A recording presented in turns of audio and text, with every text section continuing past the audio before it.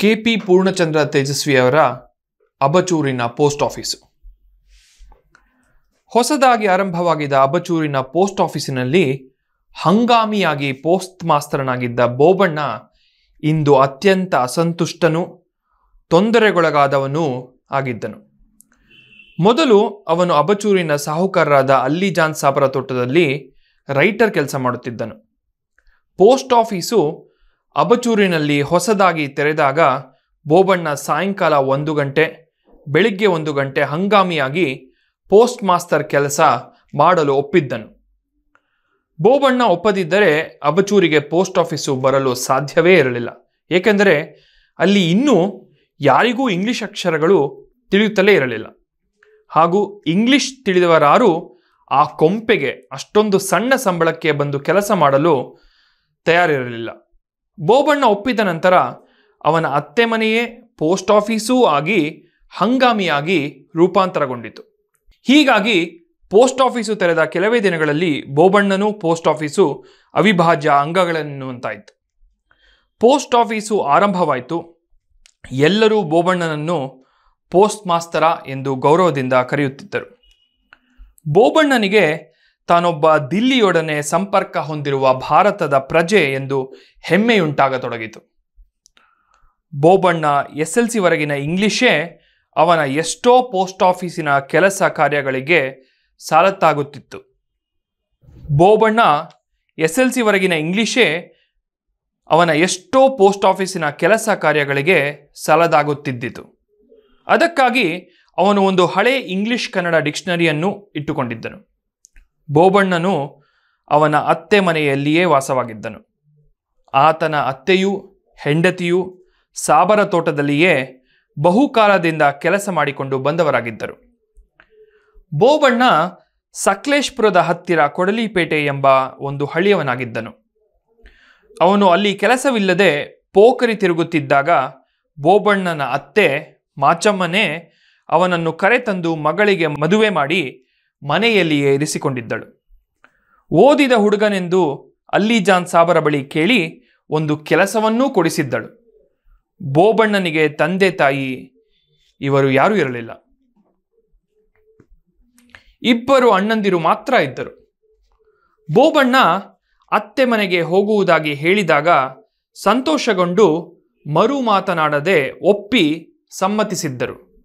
ಸ್ವಭಾವತಃ ಒಳ್ಳೆಯವನೇ ಆಗಿದ್ದ ಬೋಬಣ್ಣನು ಕೆಲಸವಿಲ್ಲದೆ ಇರುವುದರಿಂದ ಕೊಡಲಿಪೇಟೆಯಲ್ಲಿ ಪೋಖರಿ ತಿರುಗುತ್ತಿದ್ದನು. ಮದುವೆಯಾಗಿ ಕೆಲಸ ದೊರೆತುದರಿಂದ ಈಗ ಪೋಖರಿ ಅಲೆತ ಸಂಪೂರ್ಣ ನಿಂತು ಹೋಗಿದ್ದಿತು.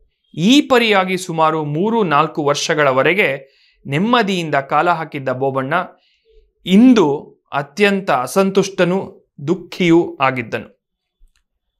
ಏಕೆ ಸಂಕಟಗ್ರಸ್ತನಾಗಿದ್ದೇನೆಂದು ಅವನಿಗೆ ಬಗೆಹರಿಯದಾಯಿತು. ಸಂಕಟಗಳಿಗೆ ಅವನು ಕಾರಣ ಕಂಡುಹಿಡಿಯುವುದಿರಲಿ. ಸಂಕಟಗಳೇ ಏನೆಂದು ಅವನಿಗೆ ಅರ್ಥವಾಗಿರಲಿಲ್ಲ. ಬೋಬಣ್ಣ ಕೆಲಸ ಆರಂಭಿಸಿದಾಗ ಅಲ್ಲಿಜಾನ್ ಸಾಬರ ಮಗನಿಗೆ ಬಂದ ಒಂದು ಕಾಗದ ಕದ್ದಿದ್ದನು. ಒಮ್ಮೊಮ್ಮೆ ತನ್ನ ಈ ಕೃತ್ಯದಿಂದ ಪೋಸ್ಟ್ ಆಫೀಸಿಗೆ ಸಂಬಂಧಿಸಿದ ಯಾವುದಾದರೂ ದೆವ್ವವೋ, ದೇವರೋ, ಮುನಿಯಿತೋ ಎಂದು ಆಲೋಚನೆ ಮಾಡುತ್ತಿದ್ದನು. ಮಂಗಳೂರಿನಲ್ಲಿ ಓದುತ್ತಿದ್ದ ಅಲ್ಲಿಜಾನ್ ಸಾವರ ಮಗ ಅಜೀಜ್ ರಜಕ್ಕೆ ಊರಿಗೆ ಬಂದಿದ್ದಾಗ ಅವನಿಗೆ ಯಾರೋ ಸ್ನೇಹಿತರು ಒಂದು ಕವರ್ ಕಳಿಸಿದ್ದರು. ಅದೇನಿರಬಹುದೆಂದು ಬೋಬಣ್ಣನಿಗೆ ಕುತೂಹಲ ಆರಂಭವಾಯಿತು. ಮೊದಲು ಹಣವಿರಬಹುದೆಂದು ಶಂಕಿಸಿದನು. ಆದರೆ ಕೊನೆಗೆ ಅದೊಂದು ಪ್ರೇಮ ಪತ್ರವಿರಬಹುದೆಂದು ಗುಮಾನಿಯಾಯಿತು. ಅವನು ಆವರೆಗೂ ಕೂಡ ಒಂದೂ ಪ್ರೇಮ ಸಲ್ಲಾಪ ಕೇಳಿರಲಿಲ್ಲ. ಅಷ್ಟೇ ಅಲ್ಲದೆ ಮದುವೆಯಾದ ನಂತರವೂ ಕೂಡ ಒಂದೇ ಒಂದು ದಿನ ಹೆಂಡತಿಯೊಡನೆ ಹಾಗೆ ವ್ಯವಹರಿಸಿರಲಿಲ್ಲ. ಅತ್ತೆಯೂ ಸಹ ಇದ್ದ ಮನೆಯೊಳಗೆ ಬೋಬಣ್ಣನಿಗೆ ಅಂಥದ್ದಕ್ಕೆ ಅವಕಾಶ ಬಹಳ ಕಡಿಮೆ ಇತ್ತು. ಬೋಬಣ್ಣನಿಗೆ ಅವನ ಹೆಂಡತಿಯ ನಗ್ನತೆಯ ಸ್ಪರ್ಶದ ಅರಿವಿತ್ತೇ ಹೊರತು ಯಾವತ್ತೂ ಬೆಳಕಿನಲ್ಲಿ ಕಂಡೇ ಇರಲಿಲ್ಲ. ಅಜೀಜನಿಗೆ ಬಂದ ಕಾಗದವು ಪ್ರೇಮಪತ್ರವಿರಬಹುದೆಂದು ಸಂಶಯ ಬಂದೊಡನೆಯೇ ಬೋಬಣ್ಣನಿಗೆ ಕುತೂಹಲ ತಲೆಗೇರಿತು. ಎದೆ ಡವ ಡವ ಹೊಡೆದುಕೊಂಡಿತು. ಆ ಕಾಗದವನ್ನು ಕದ್ದು ಜೇಬಿಗೆ ಇಳಿಬಿಟ್ಟ. ಆ ದಿನವೆಲ್ಲ ಬೋಬಣ್ಣನ ಚರ್ಯೆಯೇ ಒಂದು ತರಹದಾಗಿತ್ತು ಆ ದಿನವೆಲ್ಲ ಬೋಬಣ್ಣನ ಚರ್ಯೆಯೇ ಒಂದು ತರಹದಾಗಿತ್ತು ಅನೇಕ ಬಾರಿ ಅದನ್ನು ಹಿಂತಿರುಗಿಸಬೇಕೆಂದು ಯೋಚಿಸಿದ. ಅದನ್ನು ಒಡೆದು ನೋಡಿದರೆ ಅದನ್ನು ಎಂದೂ ಹಿಂದಿರುಗಿಸಲ ಸಾಧ್ಯವಾಗುತ್ತದೆಂದು ಹೆದರಿ ಅದನ್ನು ಒಡೆದು ನೋಡಲೂ ಇಲ್ಲ, ಹಿಂದಿರುಗಿಸಲೂ ಇಲ್ಲ. ಬೋಬಣ್ಣನ ಹೆಂಡತಿಯ ಹೆಸರು ಕಾವೇರಿ. ಕಾವೇರಿಗೆ ಒಂದು ಹೆಣ್ಣು ಮಗಳು, ಒಂದು ಗಂಡು ಮಗುವೂ ಇದ್ದಿತು. ಎರಡನೆಯ ಹೆರಿಗೆಯಾದ ನಂತರ ಕಾವೇರಿ ಪುರುಸೊತ್ತು ಸಿಕ್ಕ ದಿನ ಮಾತ್ರ ಕೆಲಸಕ್ಕೆ ಹೋಗುತ್ತಿದ್ದಳು. ಇಲ್ಲದಿದ್ದರೆ ಅತ್ತೆಯೊಬ್ಬಳೇ ಕೆಲಸಕ್ಕೆ ಹೋಗುತ್ತಿದ್ದಳು. ಬೋಬಣ್ಣನ ಈ ಪರಿಯ ಚರ್ಯೆಯಿಂದ ಅವಳಿಗೆ ಏನೋ ಸಂಶಯ ಆರಂಭವಾಗಿ, ಮನಿ ಆರ್ಡರ್ ಹಣವನ್ನೇನಾದರೂ ಸ್ವಂತಕ್ಕೆ ಉಪಯೋಗಿಸಿಕೊಂಡನೆ ಎಂದು ಗಾಬರಿಯಾದಳು. ಒಂದು ಬಾರಿ ಬೋಬಣ್ಣ ಮನಿ ಆರ್ಡರ್ ಒಂದರ ಒಂದು ರೂಪಾಯಿಯನ್ನು ಸ್ವಂತಕ್ಕೆ ಉಪಯೋಗಿಸಿ ದೊಡ್ಡ ರಾದ್ಧಾಂತವಾಗಿತ್ತು. ಬೋಬಣ್ಣ ಸ್ವಂತ ಸಂಬಳದಿಂದ ಅದನ್ನು ಕಟ್ಟಿ ಎಲ್ಲರೆದುರು ಅವಮಾನ ಅನುಭವಿಸಿದನು. ಆದುದರಿಂದ ಬೋಬಣ್ಣ ಕೆಲಸಕ್ಕೆ, ತೋಟಕ್ಕೆ ಹೋದಾಗ ಪೋಸ್ಟ್ ಆಫೀಸಿನ ಬಳಿ ಯಾರು ಸುಳಿದರೂ ನಿಮ್ಮದು ಏನಾದರೂ ಮನಿ ಆರ್ಡರ್ ಬರಬೇಕಿತ್ತಾ ಎಂದು ಎಲ್ಲರನ್ನೂ ಕೇಳಿದ್ದಳು ಕಾವೇರಿ. ಬೋಬಣ್ಣ ನಾಲ್ಕಾರು ದಿನ ಕಳೆದ ನಂತರ ಇನ್ನೂ ಇದನ್ನು ಕೊಟ್ಟರೆ ಅದಕ್ಕೂ ಗುಮಾನಿ ಬರುತ್ತದೆಂದು ಬಗೆದು ಅದನ್ನು ಬಿಚ್ಚಿ ಓದಲು ನಿರ್ಧರಿಸಿದನು. ಆ ದಿನ ತೋಟಕ್ಕೆ ಹೋದವನು ಏನನ್ನೋ ನೋಡುವವನಂತೆ ಆಳುಗಳು ಕಾಣದ ಒಂದು ಮರೆಗೆ ಹೋಗಿ ಅದನ್ನು ಒಡೆದು ನೋಡಿದನು. ಆ ಕವರಿನೊಳಗೆ ಒಂದು ಕಾರ್ಡು ಮಾತ್ರವಿತ್ತು. ಹಾಗೂ ಉರ್ದು ಲಿಪಿಯಲ್ಲಿ ಅದರಲ್ಲಿ ಏನೇನೋ ಬರೆದಿತ್ತು. ಬೋಬಣ್ಣನಿಗೆ ಹತಾಶೆ ಆಯಿತು. ಅದರ ಬಗ್ಗೆ ಏನೇನೋ ಈವರೆಗೆ ಕಲ್ಪನೆ ಮಾಡಿಕೊಂಡಿದ್ದಕ್ಕಾಗಿ ತನ್ನ ಮೇಲೆ ತನಗೆ ಮುನಿಸು ಬಂದಿತ್ತು. ಅಷ್ಟರಲ್ಲಿ ಆ ಕಾಗದವನ್ನು ಹಿಡಿದುಕೊಂಡಿದ್ದವನು ಅದರ ಇನ್ನೊಂದು ಪಾರ್ಶ್ವಕ್ಕೆ ತಿರುಗಿಸಿದನು. ಬೋಬಣ್ಣನಿಗೆ ಆ ಕಡೆ ಸೊಂಟದವರೆಗೆ ನಗ್ಲ, ನಗ್ನಳಾಗಿದ್ದ ಹೆಂಗಸಿನ ಚಿತ್ರವೊಂದು ಕಂಡಿತು. ಅವಳ ಕೆಂಪು ಶರೀರ, ದುಂಡನೆಯ ಕುಚಗಳು, ದೊರೆಸಾನಿಯಂಥ ಮುಖ ಎಲ್ಲ ನೋಡಿ ಬೋಬಣ್ಣನಿಗೆ ಅಚ್ಚರಿಯಾಗಿ ಮೂಕನಾಗಿ ಹೋದನು. ಕೊಂಚ ಹೊತ್ತು ಅದರಲ್ಲೇ ತಲ್ಲೀನನಾಗಿದ್ದವನು ಪಕ್ಕನೆ ಎಚ್ಚೆತ್ತು ಅದನ್ನು ಜೋಬಳಗಿಟ್ಟುಕೊಂಡು ಕೆಲಸಕ್ಕೆ ಹಿಂದಿರುಗಿದನು. ಕೆಲಸ ಮಾಡುವಲ್ಲಿಗೆ ಹಿಂದಿರುಗಿದ ಬೋಬಣ್ಣನ ನಾಚಿದ ಮುಖ ನೋಡಿ ಆಳುಗಳೆಲ್ಲ ಚಕಿತರಾದರು. ಆದರೆ ಬೋಬಣ್ಣ, ಆ ಕವರಿನೊಳಗಿನ ಗೂಢತೆ ಬಯಲಾದದ್ದಕ್ಕೋ ಏನೋ ನಿಧಾನವಾಗಿ ತನ್ನ ಉದ್ವಿಗ್ನತೆಯನ್ನು ಹತೋಟಿಗೆ ತಂದುಕೊಂಡನು. ಕೆಲಸ ಕಾರ್ಯಗಳ ಆವೇಗದಲ್ಲಿ ಅದನ್ನು ಮರೆಯಲೆತ್ನಿಸಿದನು. ಪೋಸ್ಟ್ ಆಫೀಸಿಗೆ ಸಾಕಷ್ಟು ಕೆಲಸ ಕಾರ್ಯ ಇರಲಿಲ್ಲ ಆದುದರಿಂದ ಹೆಡ್ ಪೋಸ್ಟ್ ಆಫೀಸಿನಿಂದ ಸಾಕಷ್ಟು ಕಾಗದ ಪತ್ರಗಳ ವಹಿವಾಟು ಇಲ್ಲದಿದ್ದರೆ ಅದನ್ನು ಮುಚ್ಚಬೇಕಾಗುತ್ತದೆಂದು ಬೋಬಣ್ಣನಿಗೆ ಎಚ್ಚರಿಕೆ ಬಂದಿತು. ಬೋಬಣ್ಣ ಅದಕ್ಕಾಗಿ ವಿಶೇಷ ಗಮನವಹಿಸಿ ಅಕ್ಕಪಕ್ಕದ ಗ್ರಾಮಗಳಿಗೆಲ್ಲ ಹೋಗಿ ತಮ್ಮ ಪೋಸ್ಟ್ ಆಫೀಸಿನ ಮುಖಾಂತರವೇ ವ್ಯವಹರಿಸಬೇಕೆಂದು ಮನವಿ ಮಾಡಿಕೊಂಡನು. ಈ ಪ್ರಚಾರದ ದೆಸೆಯಿಂದ ಅವನು ಸುತ್ತಮುತ್ತಲ ಅನೇಕ ನಿರಕ್ಷರ ಕುಕ್ಷಿಗಳ ಪರವಾಗಿ ಕಾಗದ ಬರೆಯಬೇಕಾಯಿತು ಮತ್ತು ಅವರಿಗೆ ಬಂದಿದ್ದ ಕಾಗದಗಳನ್ನು ಓದಿ ತಿಳಿಸಬೇಕಾಯಿತು. ಈ ದಿಸೆಯಿಂದ ಅವನಿಗೆ ಸುತ್ತಮುತ್ತಲವರ ಎಲ್ಲ ವ್ಯವಹಾರ ಹಾಗೂ ಒಳ ವ್ಯವಹಾರಗಳ ಪರಿಚಯ ಅರಿವು ಆಗತೊಡಗಿತು ಕಾಗದ ಬರೆಯುವಾಗ ಮತ್ತು ಅದನ್ನು ಅರ್ಥೈಸುವಾಗ ಎಷ್ಟೋ ಸಾರಿ ಅವನು ಸುತ್ತಮುತ್ತಲ ವ್ಯವಹಾರಗಳನ್ನು ನಿಯಂತ್ರಿಸುತ್ತಲೂ ಇದ್ದನು. ಈ ರೀತಿಯಾಗಿ ಪೋಸ್ಟ್ ಆಫೀಸಿನ ವ್ಯವಹಾರಗಳು ಹೆಚ್ಚುತ್ತಾ ಬಂದಂತೆ ಬೋಬಣ್ಣನ ಮನಃಶಾಂತಿ ನಶಿಸುತ್ತಾ ಬಂದಿತು. ಬೋಬಣ್ಣ ತನ್ನ ಮನಸ್ಸಿನ ಕಿರಿಕಿರಿ ಅಶಾಂತಿಗಳಿಗೆ ಏನು ಕಾರಣವೆಂದು ಅನೇಕ ಸಾರಿ ಆಲೋಚಿಸಿದ್ದನು. ಈ ಹಾಳು ಪೋಸ್ಟ್ ಆಫೀಸೇ ಅದಕ್ಕೆ ಕಾರಣವೋ? ಅಥವಾ ಅಜೀಜನಿಗೆ ಬಂದ ಆ ನಗ್ನ ಚಿತ್ರವೋ ಎಂದು ಆಲೋಚಿಸಿದ? ಅದೊಂದು ಅನಿಷ್ಟವೆಂದು ಆ ಚಿತ್ರವನ್ನು ಹರಿದೆಸೆಯಬೇಕೆಂದೂ ಆಲೋಚಿಸಿದ. ಅದನ್ನು ಇಟ್ಟುಕೊಂಡ ದಿನದಿಂದಲೂ ಆಗಾಗ್ಗೆ ಅದನ್ನು ತೆಗೆದು ನೋಡುತ್ತಲೇ ಇದ್ದನು. ಆ ನಗ್ನ ಸುಂದರಿಯ ಕುಚಗಳು, ಮನೋಹರ ನಯನಗಳು ಮುಂತಾದವುಗಳನ್ನು ನೋಡಿದಾಗಲೆಲ್ಲ ಅದನ್ನು ಹರಿದೆಸೆಯಬೇಕೆಂಬ ಬೋಬಣ್ಣನ ನಿರ್ಧಾರ ಹಾರಿ ಹೋಗುತ್ತಿದ್ದಿತು. ಇದಕ್ಕೂ ನನ್ನ ಈ ಬೇಸರಗಳಿಗೂ ಏನು ತಾನೇ ಸಂಬಂಧ ಎಂದು ತರ್ಕಿಸಿ ಅದನ್ನು ಮಡಿಚಿಡುತ್ತಿದ್ದನು. ಬೋಬಣ್ಣ ಕೆಟ್ಟವನೇನಲ್ಲ ಅವನೇನೋ ಆ ಚಿತ್ರ ನೋಡಿ ಉದ್ರೇಕಿತನಾಗಿ ಸೂಳೆಯ ಮನೆಗೆ ಹೋಗಲೂ ಇಲ್ಲ. ಅಥವಾ ಯಾವುದೇ ಹೆಂಗಸಿನೊಡನೆ ಅನ್ಯಾಸಕ್ತನಾಗಲೂ ಇಲ್ಲ. ಆದರೆ ತನ್ನ ಹೆಂಡತಿ ಕಾವೇರಿಯನ್ನು ನೋಡಿದಾಗಲೆಲ್ಲ ಅವನಿಗೆ ನಿಜವಾಗಿಯೂ ಕಾವೇರುತ್ತಿದ್ದಿತು. ಸ್ತ್ರೀಯ ನಗ್ನ ಸ್ವರೂಪದ ಅನಂತ ಸಾಧ್ಯತೆಗಳನ್ನು ಆಕೆಯ ವದನದ ಅಡಿ ರಚಿಸುತ್ತಿದ್ದನು. ಎರಡು ಮಕ್ಕಳ ತಾಯಿಯಾಗಿದ್ದ ಕಾವೇರಿಗೆ ಬೋಬಣ್ಣನ ಚೇಷ್ಟೆಗಳು, ಚರ್ಯಗಳು ನಾಚಿಕೆಯಾಗುವಂತೆ ಮಾಡಿದವು. ಮಗಳು ಬೇರೆ ಕೊಂಚ ದೊಡ್ಡವಳಿದ್ದುದರಿಂದ ನಾಚಿಕೆಯೊಡನೆ ಗಾಬರಿಯೂ ಆಗುತ್ತಿದ್ದಿತು. ಒಂದು ಸಾರಿ ಬೋಬಣ್ಣ ಅವಳನ್ನು ಮುತ್ತಿಡಲು ಹಿಡಿದುಕೊಂಡಾಗ ಅವಳು ಗಾಬರಿಯಿಂದ ಆಚೀಚೆ ಬಾಗಿಲುಗಳನ್ನು ನೋಡುತ್ತಾ ಬೋಬಣ್ಣನ ಕೈಯಲ್ಲಿ ಕೊಸರಾಡಿದಳು. ಬೋಬಣ್ಣ ಅವಳನ್ನು ಬಿಟ್ಟಾಗ ಅವಳು ಕೊಂಚ ಮುನಿಸಿನಿಂದಲೇ ಏಕೆ ಹೀಗೆ ಪೀಡಿಸುತ್ತಿದ್ದೀರಿ ಎಂದು ರೇಗಿದಳು. ಏಕೆಂದು ಹೇಳಿ ಅನು ಬೋಬಣ್ಣ? ಒಟ್ಟಿನಲ್ಲಿ ಗತಕಾಲದ ಪೋಖರಿ ಚಾಳಿಗಳು ಬೋಬಣ್ಣನಲ್ಲಿ ಮರುಕಳಿಸುತ್ತಿವೆ ಎಂದು ಕಾವೇರಿ ನಿಜವಾಗಿ ಗುಮಾನಿಸತೊಡಗಿದಳು. ಮಾಚಮ್ಮ ಹಲವಾರು ಬಾರಿ ಸೂಕ್ಷ್ಮವಾಗಿ ಬೋಬಣ್ಣನ ಈ ಬಗೆಯ ಚರ್ಯೆಗಳನ್ನು ಗಮನಿಸಿದ್ದಳು. ಅವಳಿಗೆ ತಾನು ವಯಸ್ಸಾದವಳು, ಬೋಬಣ್ಣ ತನ್ನನ್ನು ಗೌರವಿಸಬೇಕು ಎಂದು ಇಷ್ಟವಿದ್ದಿತು. ಅವಳು ತನ್ನ ಗಂಡನ ಮರಣಾನಂತರ ಏಕಾಂಗಿಯಾಗಿ ದುಡಿದು ಕಾವೇರಿಯನ್ನು ಸಾಕಿದ್ದಳು. ಅದಕ್ಕಿಂತ ಮಿಗಿಲಾಗಿ ಕಾವೇರಿ ಮದುವೆಯಾದ ನಂತರ ಗಂಡನ ಮಾತನ್ನೇ ಕಟ್ಟಿಕೊಂಡು ಅವನನ್ನೇ ಓಲೈಸುತ್ತಾ ಬೇರೆ ಹೋದರೆ ಈ ಮುಪ್ಪಿನಲ್ಲಿ ತಾನೇನು ಮಾಡುವುದು ಎಂದು ಭಯವಿದ್ದಿತು. ಆದುದರಿಂದ ಕಾವೇರಿಗೆ ಮದುವೆ ಮಾಡಲಿಕ್ಕೇ ಆಕೆಗೆ ಇಷ್ಟವಿರಲಿಲ್ಲ. ಆದರೆ ಆಚೀಚಿನವರ ಮಾತಿಗೆ ಹೆದರಿ ಮತ್ತು ಕಾವೇರಿಯೇ ಅಡ್ಡಹಾದಿ ಹಿಡಿದರೆ ಎಂದು ಹೆದರಿ ಕಾವೇರಿಗೆ ಗಂಡು ಹುಡುಕತೊಡಗಿದ್ದಳು. ಬೋಬಣ್ಣನಿಗೆ ತಂದೆ ತಾಯಿ ಯಾರೂ ಇಲ್ಲದಿದ್ದರಿಂದಲೋ, ಅವನು ಮಾಚಮ್ಮನ ಮನೆಗೆ ಬಂದು ಇರಲು ಒಪ್ಪಿದುದರಿಂದಲೂ ಅವನು ಕಾವೇರಿಗೆ ಅನುರೂಪನಾದ ವರನಾಗಿ ಕಂಡಿದ್ದನು. ಆದರೆ ಆಕೆ ಸೂಕ್ಷ್ಮವಾಗಿ ಕಾವೇರಿಯ ಮೇಲಿನ ಪ್ರೀತಿ, ತನ್ನ ಮೇಲಿನ ಗೌರವ, ಎರಡೂ ಜೊತೆ ಜೊತೆಯಾಗಿ ವೃದ್ಧಿಯಾಗುವಂತೆ ನೋಡಿಕೊಂಡಿದ್ದಳು.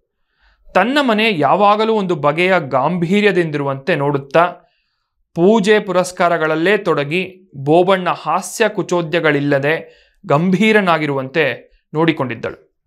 ಇಂಥದರಲ್ಲಿ ಬೋಬಣ್ಣನ ಚೇಷ್ಟೆ, ಅವನ ಕಾಮುಕತೆಗಳು ಮಾಚಮ್ಮನಿಗೆ ಭಯಂಕರ ಅಧಿಕ ಪ್ರಸಂಗಗಳಾಗಿ ಕಂಡವು.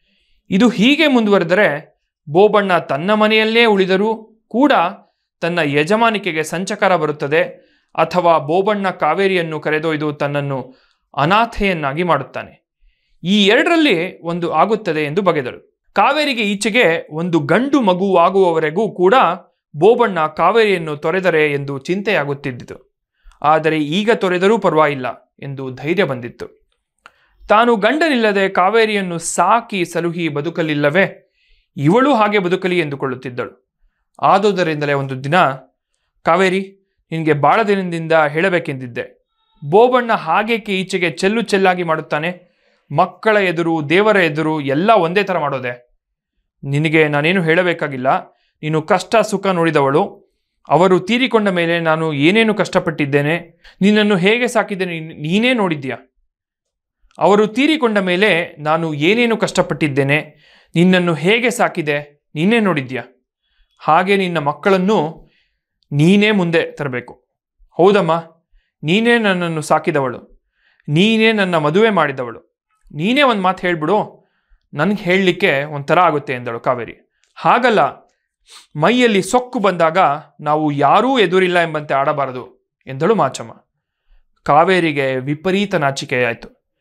ಮಾಚಮ್ಮ ಏನೇನನ್ನು ನೋಡಿದ್ದಾಳೋ ಎಂದು ಬೋಬಣ್ಣನ ಮೇಲೆ ಕೋಪವೂ ಬಂದಿತು ಗಂಡಿನ ಜಾತಿಯೇ ಹೀಗೆ.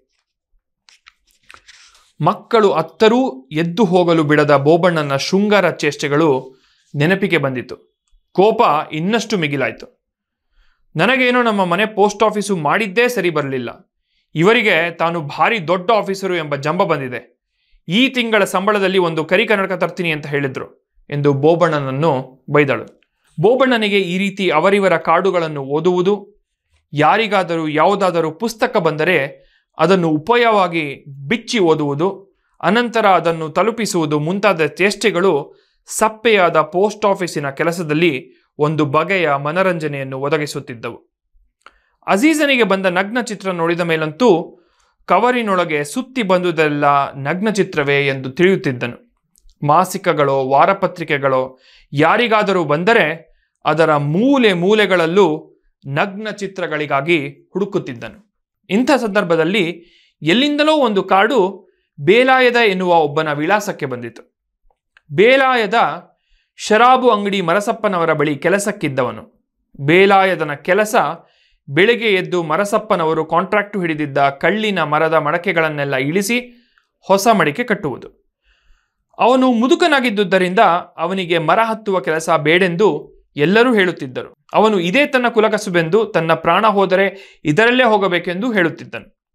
ಅವನ ಹೆಂಡತಿ ಹಾಗೂ ಮಗಳು ಪದ್ಮಿ ಅಬಚೂರಿನ ಬಳಿಯ ಇನ್ನೊಂದು ಊರಾದ ಮೂಗೂರಿನ ಸಾವುಕಾರರ ತೋಟದಲ್ಲಿ ಕೆಲಸಕ್ಕಿದ್ದರು. ಅಲ್ಲಿಗೂ ಅಬ್ಚೂರಿಗೂ ಮೂರೇ ಮೈಲು ದೂರ ಇದ್ದುದರಿಂದ ಬೇಲಾಯದನು ಸಮಯ ಸಿಕ್ಕ ಕೂಡಲೇ ಹೆಂಡತಿ ಮನೆಗೆ ಹೋಗುತ್ತಿದ್ದನು. ಹೋಗುತ್ತಾ ಒಂದು ಗಡಿಗೆ ಸೇಂದಿ ತೆಗೆದುಕೊಂಡು ಹೋಗಿ ಕೊಟ್ಟು ಮೈಗೆ ಎಣ್ಣೆ ತಿಕ್ಕಿಸಿಕೊಂಡು ಸ್ನಾನ ಮಾಡಿ ಆರಾಮ ತೆಗೆದುಕೊಂಡು ಹಿಂದಿರುಗುತ್ತಿದ್ದನು. ಬೇಲಾಯದನಿಗೆ ಬಂದ ಪತ್ರವನ್ನು ಯಥಾಪ್ರಕಾರ ಬೋಬಣ್ಣ ಓದಿದನು. ಬೇಲಾಯದನ ಮಗಳು ಪದ್ಮಿ ವಿಪರೀತ ಹಾದಿ ತಪ್ಪಿ ಹೋಗುತ್ತಿದ್ದಾಳೆಂದು ಈ ಕೂಡಲೇ ಬಂದು ಪದ್ಮಿಯನ್ನು ಬಂದೋಬಸ್ತು ಮಾಡಬೇಕೆಂದು ಬೇಲಾಯದನು ಊರಿಗೆ ಬರದೆ ಬಹಳ ದಿನವಾದುದರಿಂದ ಈ ಕಾಗದ ಬರೆಯಬೇಕಾಗಿದೆ ಎಂದು ಮೂಗೂರಿನ ಸಾಹುಕಾರರ ತೋಟದ ಮೇಸ್ತ್ರಿ ಪದ್ಮಿಯನ್ನು ಒಂದು ತಿಂಗಳು ತನ್ನ ಮನೆಯಲ್ಲಿ ಬಿಡಬೇಕೆಂದು ಪದ್ಮಿಯ ತಾಯಿಗೆ ನೂರು ರೂಪಾಯಿ ಕೊಟ್ಟಿದ್ದಾನೆಂದು ಬರೆದಿತ್ತು.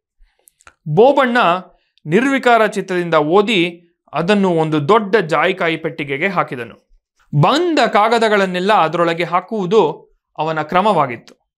ವಾರಸುದಾರರು ತಮ್ಮ ತಮಗೆ ವಿರಾಮವಾದಾಗ ಹುಡುಕಿ ಅದರೊಳಗಿಂದ ತಮ್ಮ ಪತ್ರಗಳನ್ನು ತೆಗೆದುಕೊಂಡು ಹೋಗುತ್ತಿದ್ದರು. ಈ ಸಂದರ್ಭದಲ್ಲೇ ವಿಳಾಸ ನೋಡುವ ನೆವದಿಂದ ಇತರರ ಕಾಗದಗಳನ್ನೂ ಓದುತ್ತಿದ್ದರು.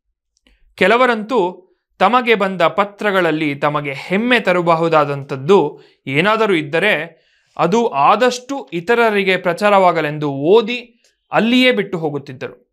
ಇಟ್ಟಿಗೆ ಕುಯ್ಯುವ ಜಿಂಬಣ್ಣನಿಗೆ ಮೂಡಿಗೆರೆಯ ರಾಜ್ಯೋತ್ಸವದ ಸಂದರ್ಭದಲ್ಲಿ ಹಾಡಬೇಕೆಂದು ಕರೆ ಬಂದಿತ್ತು. ಅದನ್ನು ಓದಿದ ನಂತರ ಜಿಂಬಣ್ಣ ಅದನ್ನು ಆದಷ್ಟು ಜನರು ಓದಲೆಂದು ಅಲ್ಲಿಯೇ ಬಿಟ್ಟಿದ್ದನು. ಯಾರೋ ಒಬ್ಬರು ಅವನಿಗೆ ಬಂದಿರುವ ಪತ್ರವನ್ನು ಒಯ್ದು ಅದನ್ನು ಮಾರನೆಯ ದಿನ ತಲುಪಿಸಿದಾಗ ಜಿಂಬಣ್ಣನು ಒಳಗೊಳಗೆ ಬೇಜಾರು ಮಾಡಿಕೊಂಡು, ಮತ್ತೆ ತನ್ನ ಕಾಗದಗಳೇನಾದರೂ ಇವೆಯೇ ಎಂದು ನೋಡುವ ನೆವದಲ್ಲಿ ಪೋಸ್ಟ್ ಆಫೀಸಿಗೆ ಹೋಗಿ ಆ ಕಾಗದವನ್ನು ಮತ್ತೆ ಅದೇ ಪೆಟ್ಟಿಗೆಯೊಳಕ್ಕೆ ಹಾಕಿದ್ದನು. ಕೆಲವರಂತೂ ಯಾರಾದರೂ ಬಂದು, ನಿಮಗೊಂದು ಕಾಗದ ಇತ್ತು ಪೋಸ್ಟ್ ಆಫೀಸಿನಲ್ಲಿ ಎಂದು ತಿಳಿಸಿದರೆ ನಿರಾತಂಕವಾಗಿ, ಯಾರ್ದು? ಏನಂತೆ? ಎಂದೆಲ್ಲ ಅವನಿಂದಲೇ ಕಾಗದದ ಸಾರಾಂಶ ಕೇಳಿ ತಿಳಿದುಕೊಳ್ಳುತ್ತಿದ್ದನು. ಅಂಥ ಆ ಜಾಯಿಕಾಯಿ ಪೆಟ್ಟಿಗೆಯೊಳಕ್ಕೆ ಬೇಲಾಯದನ ಕಾಗದವನ್ನೂ ಹಾಕಿದನು. ಬೇರೆ ಹೆಚ್ಚಿಗೆ ಯಾವುದೇ ಕಾಗದವೂ ಇರಲಿಲ್ಲ. ತೋಟದ ಕೆಲಸಕ್ಕೆ ಹೊತ್ತಾದೀತೆಂದು ಕಳಿಸಬೇಕಾದ ಕಾಗದಗಳಿಗೆಲ್ಲ ಠಸ್ಸೆ ಹೊಡೆದು ಪೋಸ್ಟ್ ಚೀಲದೊಳಕ್ಕೆ ಹಾಕಿ ಮುದ್ರೆ ಮಾಡಿದನು. ಹೆಂಡತಿಗೆ ಬಸ್ಸಿಗೆ ಕಳಿಸಲು ಹೇಳಿ ಸರಸರ ಹೊರಟನು. ಅವನ ತಲೆಯೊಳಗೆ ಪದ್ಮಿ ತಾಯಿಗೆ ನೂರು ರೂಪಾಯಿ ಕೊಟ್ಟ ಮೇಸ್ತ್ರಿ ಎಂಥ ಮೋಜುಗಾರನಾಗಿರಬೇಕು? ಎಂಬ ಕುತೂಹಲವಾಗಿತ್ತು. ಅವನು ಬ್ರಹ್ಮಚಾರಿಯೋ ಮದುವೆಯಾದವನೋ ಎಂದು ಯೋಚಿಸಿದನು.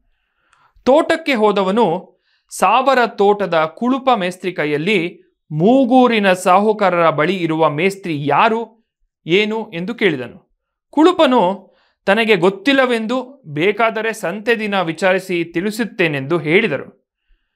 ಅದರೊಡನೆಯೇ ಏನು ಸಮಾಚಾರ? ಏತಕ್ಕೆ ಕೇಳಿದ್ರಿ? ಎಂದೂ ವಿಚಾರಿಸಿಕೊಂಡನು. ಅದಕ್ಕೆ ಬೋಬಣ್ಣನು ಎಲ್ಲ ವಿಷಯವನ್ನು ಸಮಗ್ರವಾಗಿ ತಿಳಿಸಿದ. ಆದರೆ ಬೋಬಣ್ಣ ಈ ವಿಷಯವನ್ನು ಬಹಿರಂಗಪಡಿಸುವ ಮೊದಲೇ ಅನೇಕರು ಜಾಯಿಕಾಯಿ ಪೆಟ್ಟಿಗೆಯ ಸಮ್ಮುಖದಲ್ಲೇ ಇದನ್ನು ಅರಿತು ಪುಳಕಿತರಾಗಿದ್ದರು. ಒಟ್ಟಿನಲ್ಲಿ ಆ ಪೋಸ್ಟ್ ಆಫೀಸು ಪೇಟೆಯಲ್ಲಿ ಕ್ಯಾಬ್ರೆ ಹೋಟ್ಲು ಮಾಡುವಂಥ ಗೊಂದಲ ಉಂಟು ಮಾಡಿತ್ತು. ಬೇಲಾಯದ ಊರಿನಲ್ಲಿ ಇರಲೇ ಇಲ್ಲ. ಕಾಗದ ತೆಗೆದುಕೊಳ್ಳಲು ಅವನು ಬರಲೇ ಇಲ್ಲ. ಹೆಂಡತಿ ಮನೆಯಲ್ಲಿಯೇ ಇರಬೇಕೆಂದು ಕೆಲವರು, ಊರಿಗೆ ಹೋದನೆಂದು ಕೆಲವರು, ಅವನಿಗೆ ಆರೋಗ್ಯ ಸರಿ ಸತ್ತು ಗಿತ್ತು ಹೋದನೋ ಎಂದು ಹಲವರು ಶಂಕಿಸಿದರು. ಅವನ ಕಾಗದ ವಾರಸುದಾರರಿಲ್ಲದೆ ಪೋಸ್ಟ್ ಆಫೀಸಿನ ಜಾಯಿಕಾಯಿ ಪೆಟ್ಟಿಗೆಯಂಥ ಅತ್ಯಂತ ಅಪಾಯಕಾರಕ ಸಾರ್ವಜನಿಕ ಸ್ಥಳದಲ್ಲಿ ಬಿದ್ದಿದ್ದಿತು. ಸಾಯಂಕಾಲವಾದ ನಂತರ ದಿನವೂ ಬೋಬಣ್ಣ ಯಾರಾದರೂ ಕಾಗದ ಬರೆಸುವುದಿದ್ದರೆ ಅವರಿಗೆ ಕಾಗದ ಬರೆದುಕೊಡುವ ಕೆಲಸವನ್ನೋ ಓದಿಸುವುದಿದ್ದರೆ ಅವರಿಗೆ ಓದಿ ತಿಳಿಸುವ ಕೆಲಸವನ್ನೋ ಮಾಡುತ್ತಿದ್ದನು. ನಾಲ್ಕಾರು ಜನ ಕುಳಿತು ಎಲ್ಲ ಒಂದೊಂದು ರೀತಿ ಅಭಿಪ್ರಾಯ ಕೊಟ್ಟ ನಂತರ ಅದನ್ನು ಸಮಗ್ರವಾಗಿ ಸಂಗ್ರಹಿಸಿ, ಹಾಗಾದರೆ ಹೀಗೆ ಬರೆಯಲೋ ಎಂದು ಕೇಳಿ ಎಲ್ಲರೂ ಸರಿ ಸರಿ ಎಂದು ತಲೆದೂಗಿದ ನಂತರ ಬರೆದುಕೊಡುತ್ತಿದ್ದನು. ಬಂದವರ ಬಳಿ ಆ ಕಾಗದ ಬರೆಸುವುದಕ್ಕೆ ಪೂರ್ವಭಾವಿಯಾಗಿ ಬಂದ ಕಾಗದಗಳು ಇತ್ಯಾದಿ ದಾಖಲುಗಳೆಲ್ಲ ಇರುತ್ತಿದ್ದವು. ಬೋಬಣ್ಣ ಅಗತ್ಯ ಕಂಡಾಗ ಅವುಗಳನ್ನು ಒರೆ ಹಚ್ಚಿ ನೋಡುತ್ತಿದ್ದನು. ಇಂಥದೊಂದು ಸಮಾಲೋಚನೆಯ ಗೋಷ್ಠಿ ನಡೆಯುತ್ತಾ ಇತ್ತು. ಆಗ ಮೂಗೂರಿನ ಪ್ರೈಮರಿ ಸ್ಕೂಲ್ ಮೇಷ್ಟ್ರು ದಾಸಣ್ಣ ಹಾಜರಾದರು. ಏನ್ ಪೋಸ್ಟ್ ಮಾಸ್ತರ್ ನಮ್ಮೂರಿಂದು ಯಾವುದಾದ್ರೂ ಕಾಗದ ಇದೆಯಾ? ಎಂದು ಬೋಬಣ್ಣನನ್ನು ಕೇಳಿದ. ಇಲ್ಲ ಮರಾಯರ, ನಿಮ್ಮೂರಿಂದೇ ಒಂದು ಕಾಗದ ಇತ್ತು. ಎಂಥದಪ್ಪ ಏನು ಸಮಾಚಾರ? ಏನಂತ ಹೇಳೋದು? ಹೋಗಿ ನೋಡಿ ನೀವೇನೆ, ಆಮೇಲೆ ಹೇಳ್ತೀನಿ. ಅಯ್ಯೋ ದೇವ್ರೆ ಎಂಥದ್ರಿ ಗ್ರಾಚಾರ? ಎಂದು ದಾಸಣ್ಣ ಲಘು ಬಗೆಯಿಂದ ಜಾಯಿಕಾಯಿ ಪೆಟ್ಟಿಗೆಗೆ ಕೈ ಹಾಕಿದ. ಅದೆಲ್ಲ ನೋಡಿ ಇದು? ಹಾಂ, ಇದೆ ಇದೆ ಎಂದು ಬೋಬಣ್ಣ ನಿರ್ದೇಶಿಸಿದನು. ದಾಸಣ್ಣ ಬ್ರಹ್ಮಚಾರಿ. ಮೂಗೂರಿನಲ್ಲಿ ಅವನ ಸ್ಕೂಲು, ಪ್ರೈಮರಿ ಸ್ಕೂಲ್ ಆದರೂ ಕೊಂಚ ದೊಡ್ಡ ಹುಡುಗಿಯರು ಬರುತ್ತಿದ್ದರು. ದಾಸಣ್ಣ ಇನ್ನೇನೂ ಮಾಡಿರದಿದ್ದರೂ ಅವರ ಅಂಗಾಂಗಗಳ ಮೇಲೆ ಸ್ವೇಚ್ಛೆಯಾಗಿ ಕೈಯಾಡಿಸಿ ತನ್ನ ಬ್ರಹ್ಮಚಾರಿ ಚಪಲ ತೀರಿಸಿಕೊಂಡಿದ್ದನೆಂದು ಭಾರಿ ಅಪಕೀರ್ತಿಗೆ ಪಕ್ಕಾಗಿದ್ದ ಅವನು ನರಿಯ ಮುಸುಡಿ ಮಾಡಿಕೊಂಡು ಹೊರಟನೆಂದರೆ ಹೆಂಗಸರು ಎಲ್ಲ ಮೂಗು ಮುರಿಯುತ್ತಲಿದ್ದರು. ದಾಸಣ್ಣ ಕಾಗದ ಓದಿ, ಒಳ್ಳೆ ಲಾಯಕ್ಕಾಯ್ತಿ ಪದ್ಮಿದು ಎಂದು ಕಾಗದವನ್ನು ತಿರುಗಿ ಜಾಯಿಕಾಯಿ ಪೆಟ್ಟಿಗೆಯೊಳಗೆ ಹಾಕಿದನು. ತಿರುಗಿ ಬೋಬಣ್ಣನ ಹರಟೆಗೋಷ್ಠಿಯನ್ನು ಕೂಡಿಕೊಂಡನು. ಅಲ್ಲರಿ ದಾಸಣ್ಣ ಮೂಗೂರಿನಲ್ಲಿ ಕಾಗದ ಬರೆಯುವುದಕ್ಕೆ ನಿಮ್ಮನ್ನು ಬಿಟ್ರಿ ಇನ್ಯಾರಿದಾರ್ರಿ ನೀವೇ ಬರೆದು ಗೊತ್ತಿಲ್ಲದಂತೆ ಆಡ್ತಿರಲ್ಲ ಎಂದು ಕೇಳಿದ. ಛೇ ಛೇ, ನಾನು ಬರೆದ್ರೆ ಇಲ್ಲೇ ಪೋಸ್ಟ್ ಮಾಡ್ಬೇಕು ತಾನೆ? ನೀವೇ ಮೊನ್ನೆ ಊರಿಗೆ ಬಂದವರು ಇಲ್ಲಿಗೆ ಕಾಗದ ಹಾಕಬೇಕೆಂದು ಹೇಳಿದಿರಲ್ಲ? ಎಲ್ಲರಿಗೂ ನಾನು ಹೇಳಿದ್ದೀನಿ. ಇರಲಿ, ಕಾಗದ ತಗೊಂಡು ಠಸ್ಸೆ ನೋಡಿ, ಎಲ್ಲಿಂದ ಬಂದಿದೆ ಅಂತ ಎಂದನು. ಬೋಬಣ್ಣನಿಗೆ ಈವರೆಗೆ ಅದು ಹೊಳೆದಿರಲಿಲ್ಲ. ಕೂಡಲೇ ಪೆಟ್ಟಿಗೆಯಿಂದ ಅದನ್ನು ತೆಗೆದುಕೊಂಡು ಎಲ್ಲಿಂದ ಬಂದುದೆಂದು ಪರೀಕ್ಷಿಸಿದನು. ಪೋಸ್ಟ್ ಆಫೀಸಿನ ಠಸ್ಸೆಯಲ್ಲಿ ದಿನಾಂಕ ಒಂದನ್ನುಳಿದು ಇನ್ನೇನೂ ಗೋಚರವಾಗುತ್ತಿರಲಿಲ್ಲ. ಆ ಕಾಗದದ ಠಸ್ಸೆ ಪರೀಕ್ಷಿಸುವ ನೆವದಿಂದ ಇನ್ನೊಮ್ಮೆ ಗೋಷ್ಠಿಯ ಎಲ್ಲ ಸದಸ್ಯರು ಅದನ್ನು ಓದಿ ಸವಿದರು. ಅದರಲ್ಲಿ ಒಬ್ಬ ಸದಸ್ಯ, ಬೇಲಾಯದನ ಹೆಂಡತಿಗೆ ಏನೋ ಈ ಚಾಳಿ ಇದೆ. ಅದಕ್ಕೆ ಬೇಲಾಯದ ಅವನ ಹೆಂಡತಿ ಬಿಟ್ಟೇ ಇರುತ್ತಾನೆ ಎನ್ನುತ್ತಾರಪ್ಪ ಎಂದು ಗೊಣಗಿದನು. ದಾಸಣ್ಣ, ಛೇ ಛೇ, ಹೋಗ್ರಿ ಹೋಗ್ರಿ. ವಯಸ್ಸಾಗಿ ಜಬ್ಬು ಹಿಡಿದು ಮುದುಕಿ ಅದಕ್ಕೆಂತ ಹುಮ್ಮಸ್ಸಿರ್ತದೆ? ಯಾರು ಒಪ್ಪ ಮಾತಲ್ಲ ಇದು ಎಂದ. ಅದಕ್ಕೆ ಮೊದಲಿನವನು, ಹ್ಞೂ ಹ್ಞೂ, ನಿನಗೆ ಗೊತ್ತಿಲ್ಲ ಮುದುಕರಿಗಿರೋ ತೆವಲು ಎಂದು ಮುಸಿ ಮುಸಿ ನಕ್ಕನು. ಆ ಗುಂಪಿನಲ್ಲಿದ್ದ ಓರ್ವ ಕೊಂಚ ವಯಸ್ಸಾದ ವ್ಯಕ್ತಿ ಈ ಮಾತು ತನಗೇ ಅನ್ವಯಿಸುತ್ತದೆ ಎಂದು ಪರಿಭಾವಿಸಿ ಅದನ್ನೊಂದು ಹೊಗಳಿಕೆ ಎಂದು ಗಣಿಸಿ ಹೆಮ್ಮೆಯಿಂದ ನಕ್ಕನು. ಅದಕ್ಕೆ ಮೊದಲು ಮಾತನಾಡಿದ ವ್ಯಕ್ತಿ, ಹಂಗಲ ಪೋಸ್ಟ್ ಮಾಸ್ತ್ರೆ ಮುದುಕರಿಗೆ ಮುದುಕರ ಮೇಲೆ ಚಪಲ ಇದ್ದಿದ್ದರ ಸರಿ ಇರೋದು. ಮುದುಕರಿಗೆ ಹುಡುಗರನ್ನು ಕಂಡರೆ ತೆವಲು ಹೆಚ್ಚು ಎಂದನು. ಹಾಂಗರ ಮುದುಕರ ಸವಾಸ ಕಷ್ಟ, ಇವ್ರ ಮೇಲೆ ಕೊಂಚ ನಿಗಾ ಇಟ್ಟೇ ಇರಬೇಕು ಎಂದ ಬೋಬಣ್ಣ. ಅವನ ಮಾತಿಗೆ ಎಲ್ಲರೂ ಮುಸಿ ಮುಸಿ ನಕ್ಕರು. ಅವರ ಗೋಷ್ಠಿ ಚದುರಿತು, ಆದರೆ ಆ ದಿನ ಬೋಬಣ್ಣನ ಮನೆಯಲ್ಲಿ ಮಾತ್ರ ಒಂದು ಹಗರಣವೇ ನಡೆಯಿತು. ಮುದುಕರ ಮೇಲೆ, ಮುದುಕಿಯರ ಮೇಲೆ, ಕಟ್ಟೆಯ ಮೇಲೆ ಕುಳಿತು ಲೋಕಾಭಿರಾಮವಾಗಿ ಆಡಿದ ಮಾತು ಬೋಬಣ್ಣನ ಅತ್ತೆಗೆ ತಾಗಿತ್ತು. ಮನೆಯನ್ನು ಪೋಸ್ಟ್ ಆಫೀಸು ಮಾಡಿದ ನಂತರ ಕಾಗದ ಬರೆಸಲು ಮುಂತಾಗಿ ಸೇರುತ್ತಿದ್ದ ಈ ಗುಂಪುಗಳು ಕ್ರಮೇಣ ಕ್ಲಬ್ಬಿನಲ್ಲಿ ನೆರೆಯುವ ಮನರಂಜನೆಯ ಗುಂಪುಗಳಂತೆ ಪರಿವರ್ತಿತವಾಗುವುದನ್ನು ಮಾಚಮ್ಮ ಗಮನಿಸಿದ್ದಳು. ಮೊದಮೊದಲು ಕಾಗದವನ್ನಿಷ್ಟೇ ಬರೆದುಕೊಡುತ್ತಿದ್ದ ಬೋಬಣ್ಣ ಕೊನೆ ಕೊನೆಗೆ ಕಾಗದ ಬರೆಸಲು ಬಂದವರೊಡನೆ ಕಾಗದದ ಇತ್ಯೋಪರಿಗಳನ್ನು ಕುರಿತು ಹರಟುತ್ತಿದ್ದನು. ಅನಂತರ ಈ ಕೆಲಸ ಹಾಗೇ ವಿಸ್ತಾರವಾಗುತ್ತಾ ಇಬ್ಬರೇ ಆಲೋಚನೆ ಮಾಡಿ ಕಾಗದ ಬರೆಸುತ್ತಿದ್ದುದು ಅನೇಕ ಜನ ಸಮಾಲೋಚನೆ ಮಾಡಿ ಬರೆಯುತ್ತಿದ್ದರು. ಮಾಚಮ್ಮನೂ ಕಾವೇರಿಯೂ ಅನೇಕ ಬಾರಿ ಈ ಪರಿ ಗುಂಪು ಕೂಡಿಕೊಂಡು ಹರಟೆ ಹೊಡೆಯಬಾರದೆಂದು ಎಚ್ಚರಿಸಿದಾಗ ಪೋಸ್ಟ್ ಆಫೀಸಿನ ವ್ಯವಹಾರ ಕಡಿಮೆಯಾದರೆ ಪೋಸ್ಟ್ ಆಫೀಸು ಮುಚ್ಚುತ್ತಾರೆಂದು, ಅದಕ್ಕಾಗಿ ತಾನು ಕಾಗದ ಪತ್ರಗಳನ್ನು ಹೆಚ್ಚು ಹೆಚ್ಚಾಗಿ ಬರೆಯಲು ಪ್ರೋತ್ಸಾಹಿಸಬೇಕಾಗಿದೆ ಎಂದು ಬೋಬಣ್ಣ ಸಮಾಧಾನ ಹೇಳಿದ್ದನು. ಅದು ಈಗ ಇನ್ನೂ ಮುಂದುವರಿದು ಇತರರ ಕಾಗದಗಳ ಬಗ್ಗೆ ಹರಟೆ ಕೊಚ್ಚುವ ಮಟ್ಟಕ್ಕೆ ಮುಟ್ಟಿತ್ತು. ಮಾಚಮ್ಮನಿಗೆ ಇದನ್ನು ಮಾತ್ರ ತಡೆಯಲಾಗಲಿಲ್ಲ. ಕಾವೇರಿ ಬಳಿ ಬಂದು, ನೋಡು, ಆ ಪೋಲಿ ದಾಸಪ್ಪನನ್ನು ಕೂರಿಸ್ಕೊಂಡು ಹರಟುತ್ತಿದ್ದಾನಲ್ಲ, ಎಲ್ಲಿಗೆ ಬಂತು ನಮ್ಮನೆ ಅವಸ್ಥೆ? ಎಂದು ಹಲ್ಲು ಕಡಿದಿದ್ದಳು. ಕಾವೇರಿಗೂ ತಡೆಯಲಾರದ ಕೋಪ ಬಂತು.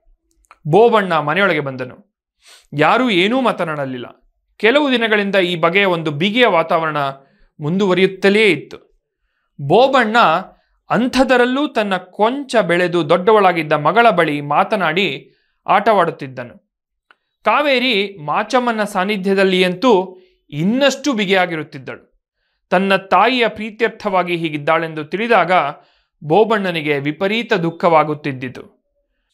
ಬೋಬಣ್ಣನೇನಾದರೂ ಮನೆಯೊಳಗಿನ ಅಸಮಾಧಾನದ ವಾತಾವರಣವನ್ನೇನಾದರೂ ಕೊಂಚ ಕಡಿಮೆ ಮಾಡಲು ಯತ್ನಿಸಿದರೆ ಅದು ಇನ್ನಷ್ಟು ತೊಂದರೆಗೂ ಜಟಿಲತೆಗೂ ದಾರಿ ಮಾಡಿಕೊಡುತ್ತಿದ್ದಿತು. ಬೋಬಣ್ಣ ಮನೆಯೊಳಗೆ ಬಂದಾಗ ಎಲ್ಲರೂ ಅನ್ಯಾಸಕ್ತರಾಗಿ ತಮ್ಮ ತಮ್ಮ ಕೆಲಸ ತಾವು ಮಾಡಿಕೊಳ್ಳುತ್ತಾ ಮೌನವಾಗಿದ್ದರು. ಬೋಬಣ್ಣನ ಮಗಳು ಸೀತಾ ಬಂದು, ಅಣ್ಣ ಅಣ್ಣ, ನೋಡಿಲಿ ಎಂದು ಲಂಗ ಎತ್ತಿ ಪೋಸ್ಟ್ ಆಫೀಸಿನ ಠಸ್ಸೆಯನ್ನು ಹೊಟ್ಟೆಯ ಮೇಲೆ ಒತ್ತಿಕೊಂಡಿದ್ದನ್ನು ತೋರಿಸಿದಳು. ಅಯ್ಯೋ ಹುಡುಗಿ, ನೀನು ಪೋಸ್ಟ್ ಆಫೀಸಿನ ಕೆಲಸಕ್ಕೆ ಇಳಿದಿದ್ದೀಯೇನೆ? ಎಂದು ಬೋಬಣ್ಣ ಅವಳನ್ನು ಕೇಳಿದನು. ಅಷ್ಟರಲ್ಲಿ ಮಾಚಮ್ಮ ಹುಡುಗಿಯರು ಆ ರೀತಿ ಲಂಗ ಎತ್ತುವುದು ಅಸಭ್ಯವಂತೆ ಥತ್ ಎಂದು ಅವಳ ಲಂಗ ಕೆಳಕ್ಕೆ ಜಾಡಿಸಿ ಕೊಡಕಿದಳು. ಸಾಕು ಇಲ್ಲಿಗೆ ಕೆಲಸ ಎಂದು ಗೊಣಗುತ್ತಾ ಒಳಗೆ ನಡೆದಳು. ಬೋಬಣ್ಣನಿಗೆ ಊಟಕ್ಕೆ ಏಳಲೂ ನಾಚಿಕೆಯಾಯಿತು. ಈವರೆಗೂ ತನ್ನ ತೋಟದ ಸಂಬಳ, ಪೋಸ್ಟ್ ಆಫೀಸಿನ ಕೆಲಸದ ಸಂಬಳ ಎಲ್ಲವನ್ನೂ ಮನೆ ಖರ್ಚಿಗೆ ವಿನಿಯೋಗಿಸಿದ್ದರೂ ಅವನಿಗೆ ಅಂದು ಅದೆಲ್ಲ ತಾನು ದುಡಿದ ಅನ್ನದಂತೆ ಕಾಣಲಿಲ್ಲ. ಆದರೆ ಬೋಬಣ್ಣ ಪೋಖರಿಯೂ, ಮುಂಗೋಪಿಯೂ ದುಡುಕು ಸ್ವಭಾವದವನೂ ಆಗಿರಲಿಲ್ಲ. ತನ್ನ ಜೀವನದಲ್ಲಿ ಯಾವುದೇ ಕ್ರಾಂತಿಕಾರಿಕ ಬದಲಾವಣೆಯನ್ನು ಅವನು ಕಂಡಿರಲಿಲ್ಲ ಮತ್ತು ಬಯಸಿಯೂ ಇರಲಿಲ್ಲ. ಆದುದರಿಂದಲೋ ಏನೋ ಗಂಭೀರವಾಗಿ ಊಟ ಮಾಡಿದ. ಕಾವೇರಿ ಬೋಬಣ್ಣ ಅಮ್ಮನಿಗೆ ಬೇಜಾರು ಮಾಡುತ್ತಿದ್ದಾನಲ್ಲ ಎಂದು ಬೇಜಾರು ಮಾಡಿಕೊಂಡಿದ್ದಳು. ಬೋಬಣ್ಣನ ಮೇಲೆ ಒಂದು ಬಗೆಯ ಬಲಾತ್ಕಾರದ ಸೇಡನ್ನೇ ಬೆಳೆಸಿಕೊಳ್ಳತೊಡಗಿದಳು. ಬೋಬಣ್ಣನನ್ನು ಪ್ರೀತಿಯಿಂದ ಆಲಂಗಿಸಿದರೆ ಅವಳಿಗೆ ಅಮ್ಮನಿಗೆ ದ್ರೋಹ ಬಗೆದಂತಾಗುತ್ತಿತ್ತು. ದಿನರಾತ್ರಿ ಏನಾದರೊಂದು ಜಗಳ ತೆಗೆದು ಮುಖ ತಿರುಗಿಸಿಕೊಂಡು ಮಲಗತೊಡಗಿದಳು. ಬೋಬಣ್ಣ ಎಂಥ ಸಂದರ್ಭವಾದರೇನು? ತನ್ನ ಕಾಮ ತೃಷೆ ತೀರಿದರಾಯ್ತೆಂಬ ಮೃಗವಾಗಿರಲಿಲ್ಲ. ಆದ್ದರಿಂದ ಕಾವೇರಿಯೊಡನೆ ಪ್ರೀತಿಯಿಂದಿರಲು ಪ್ರೇಮದ ವಾತಾವರಣ ಸೃಜಿಸಲು ಯತ್ನಿಸಿದನು. ಒಂದು ದಿನ ಕಾವೇರಿ ಬೋಬಣ್ಣನನ್ನು ನಿದ್ದೆಗಣ್ಣಿನಲ್ಲಿ ಆಲಂಗಿಸಿಕೊಂಡಿದ್ದವಳು ಹಾಗೆ ಎಚ್ಚರವಾದಂತಾಗಿ ಬೋಬಣ್ಣನನ್ನು ದೂಡಿ ಆ ಕಡೆ ತಿರುಗಿ ಮಲಗಿದಳು ಕಾವೇರಿಯು ಆ ದಿನ ಆ ಹಡಬೆ ದಾಸಣ್ಣನೊಂದಿಗೆ ಅಷ್ಟೊಂದು ನೀವು ಕುಶಾಲನಿಂದ ಮಾತಾಡುವಂಥದ್ದು ಏನಿತ್ತು ಎಂದು ಜಗಳವಾಡಿ ಆ ಕಡೆ ತಿರುಗಿ ಮಲಗಿದಳು. ಬೋಬಣ್ಣ ದುಃಖದಿಂದ ಮನೆಯ ಮಾಡನ್ನೇ ನಿಟ್ಟಿಸುತ್ತಾ ಮಲಗಲು ಯತ್ನಿಸಿದನು. ಅಜೀಜನಿಗೆ ಬಂದ ನಗ್ನ ಸ್ತ್ರೀಯ ಚಿತ್ರವು ಒಂದು ದೇವತೆಯಂತೆ ಯಾವುದೋ ಹಿಂಗದ ಕಾಮನೆಗಳ ಸಂಕೇತವಾಗಿ ಬೋಬಣ್ಣನ ಕಲ್ಪನೆಗಳಲ್ಲಿ ಹೊಳೆಯಿತು. ತಾನು ಇಷ್ಟೊಂದು ದುಃಖಿಯಾಗಿರುವುದಕ್ಕೆ ಕಾರಣ ಮಾತ್ರ ಬೋಬಣ್ಣನಿಗೆ ಹೊಳೆಯಲೇ ಇಲ್ಲ. ಬೇಲಾಯದ ಮಾತ್ರ ಕಾಗದ ತೆಗೆದುಕೊಳ್ಳಲು ಬರಲೇ ಇಲ್ಲ. ಯಾರೋ ಅವನು ಉಜಿರೆಗೆ ಹೋಗಿದ್ದಾನೆಂದು ಹೇಳಿದರು. ಇತ್ತ ಯಥೇಚ್ಛವಾಗಿ ಊರಿನ ಜನಗಳೆಲ್ಲ ಬೇಲಾಯದನ ಮಗಳ ವಿಷಯವನ್ನು ಊಟಕ್ಕೆ ಉಪ್ಪಿನಕಾಯಿಯಂತೆ ನಂಜಿಕೊಂಡು ಹೊಡೆದರು. ಎಲೆ ಎಡಿಕೆಯ ನಡುವೆ ಬಾಯಲಿಟ್ಟುಕೊಂಡು ಜಗಿದರು. ಬೋಬಣ್ಣನ ಪೋಸ್ಟ್ ಆಫೀಸಿನ ಗೋಷ್ಠಿಯೊಳಗೆ ನಿತ್ಯವೂ ಪದ್ಮಿಯ ವಿಷಯ ಸುಳಿಯುತ್ತಿದ್ದಿತು.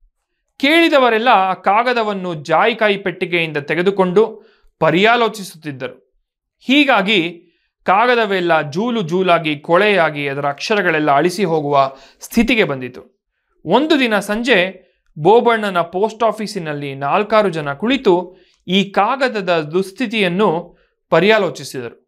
ಒಬ್ಬ ಹೇಳಿದ, ಆ ಕಾಗದವನ್ನು ಅತ್ಲಾಗಿ ಹರಿದು ಹಾಕ್ಬಿಟ್ರೆ ಈ ಗೋಳು ತಪ್ಪುತ್ತದೆ.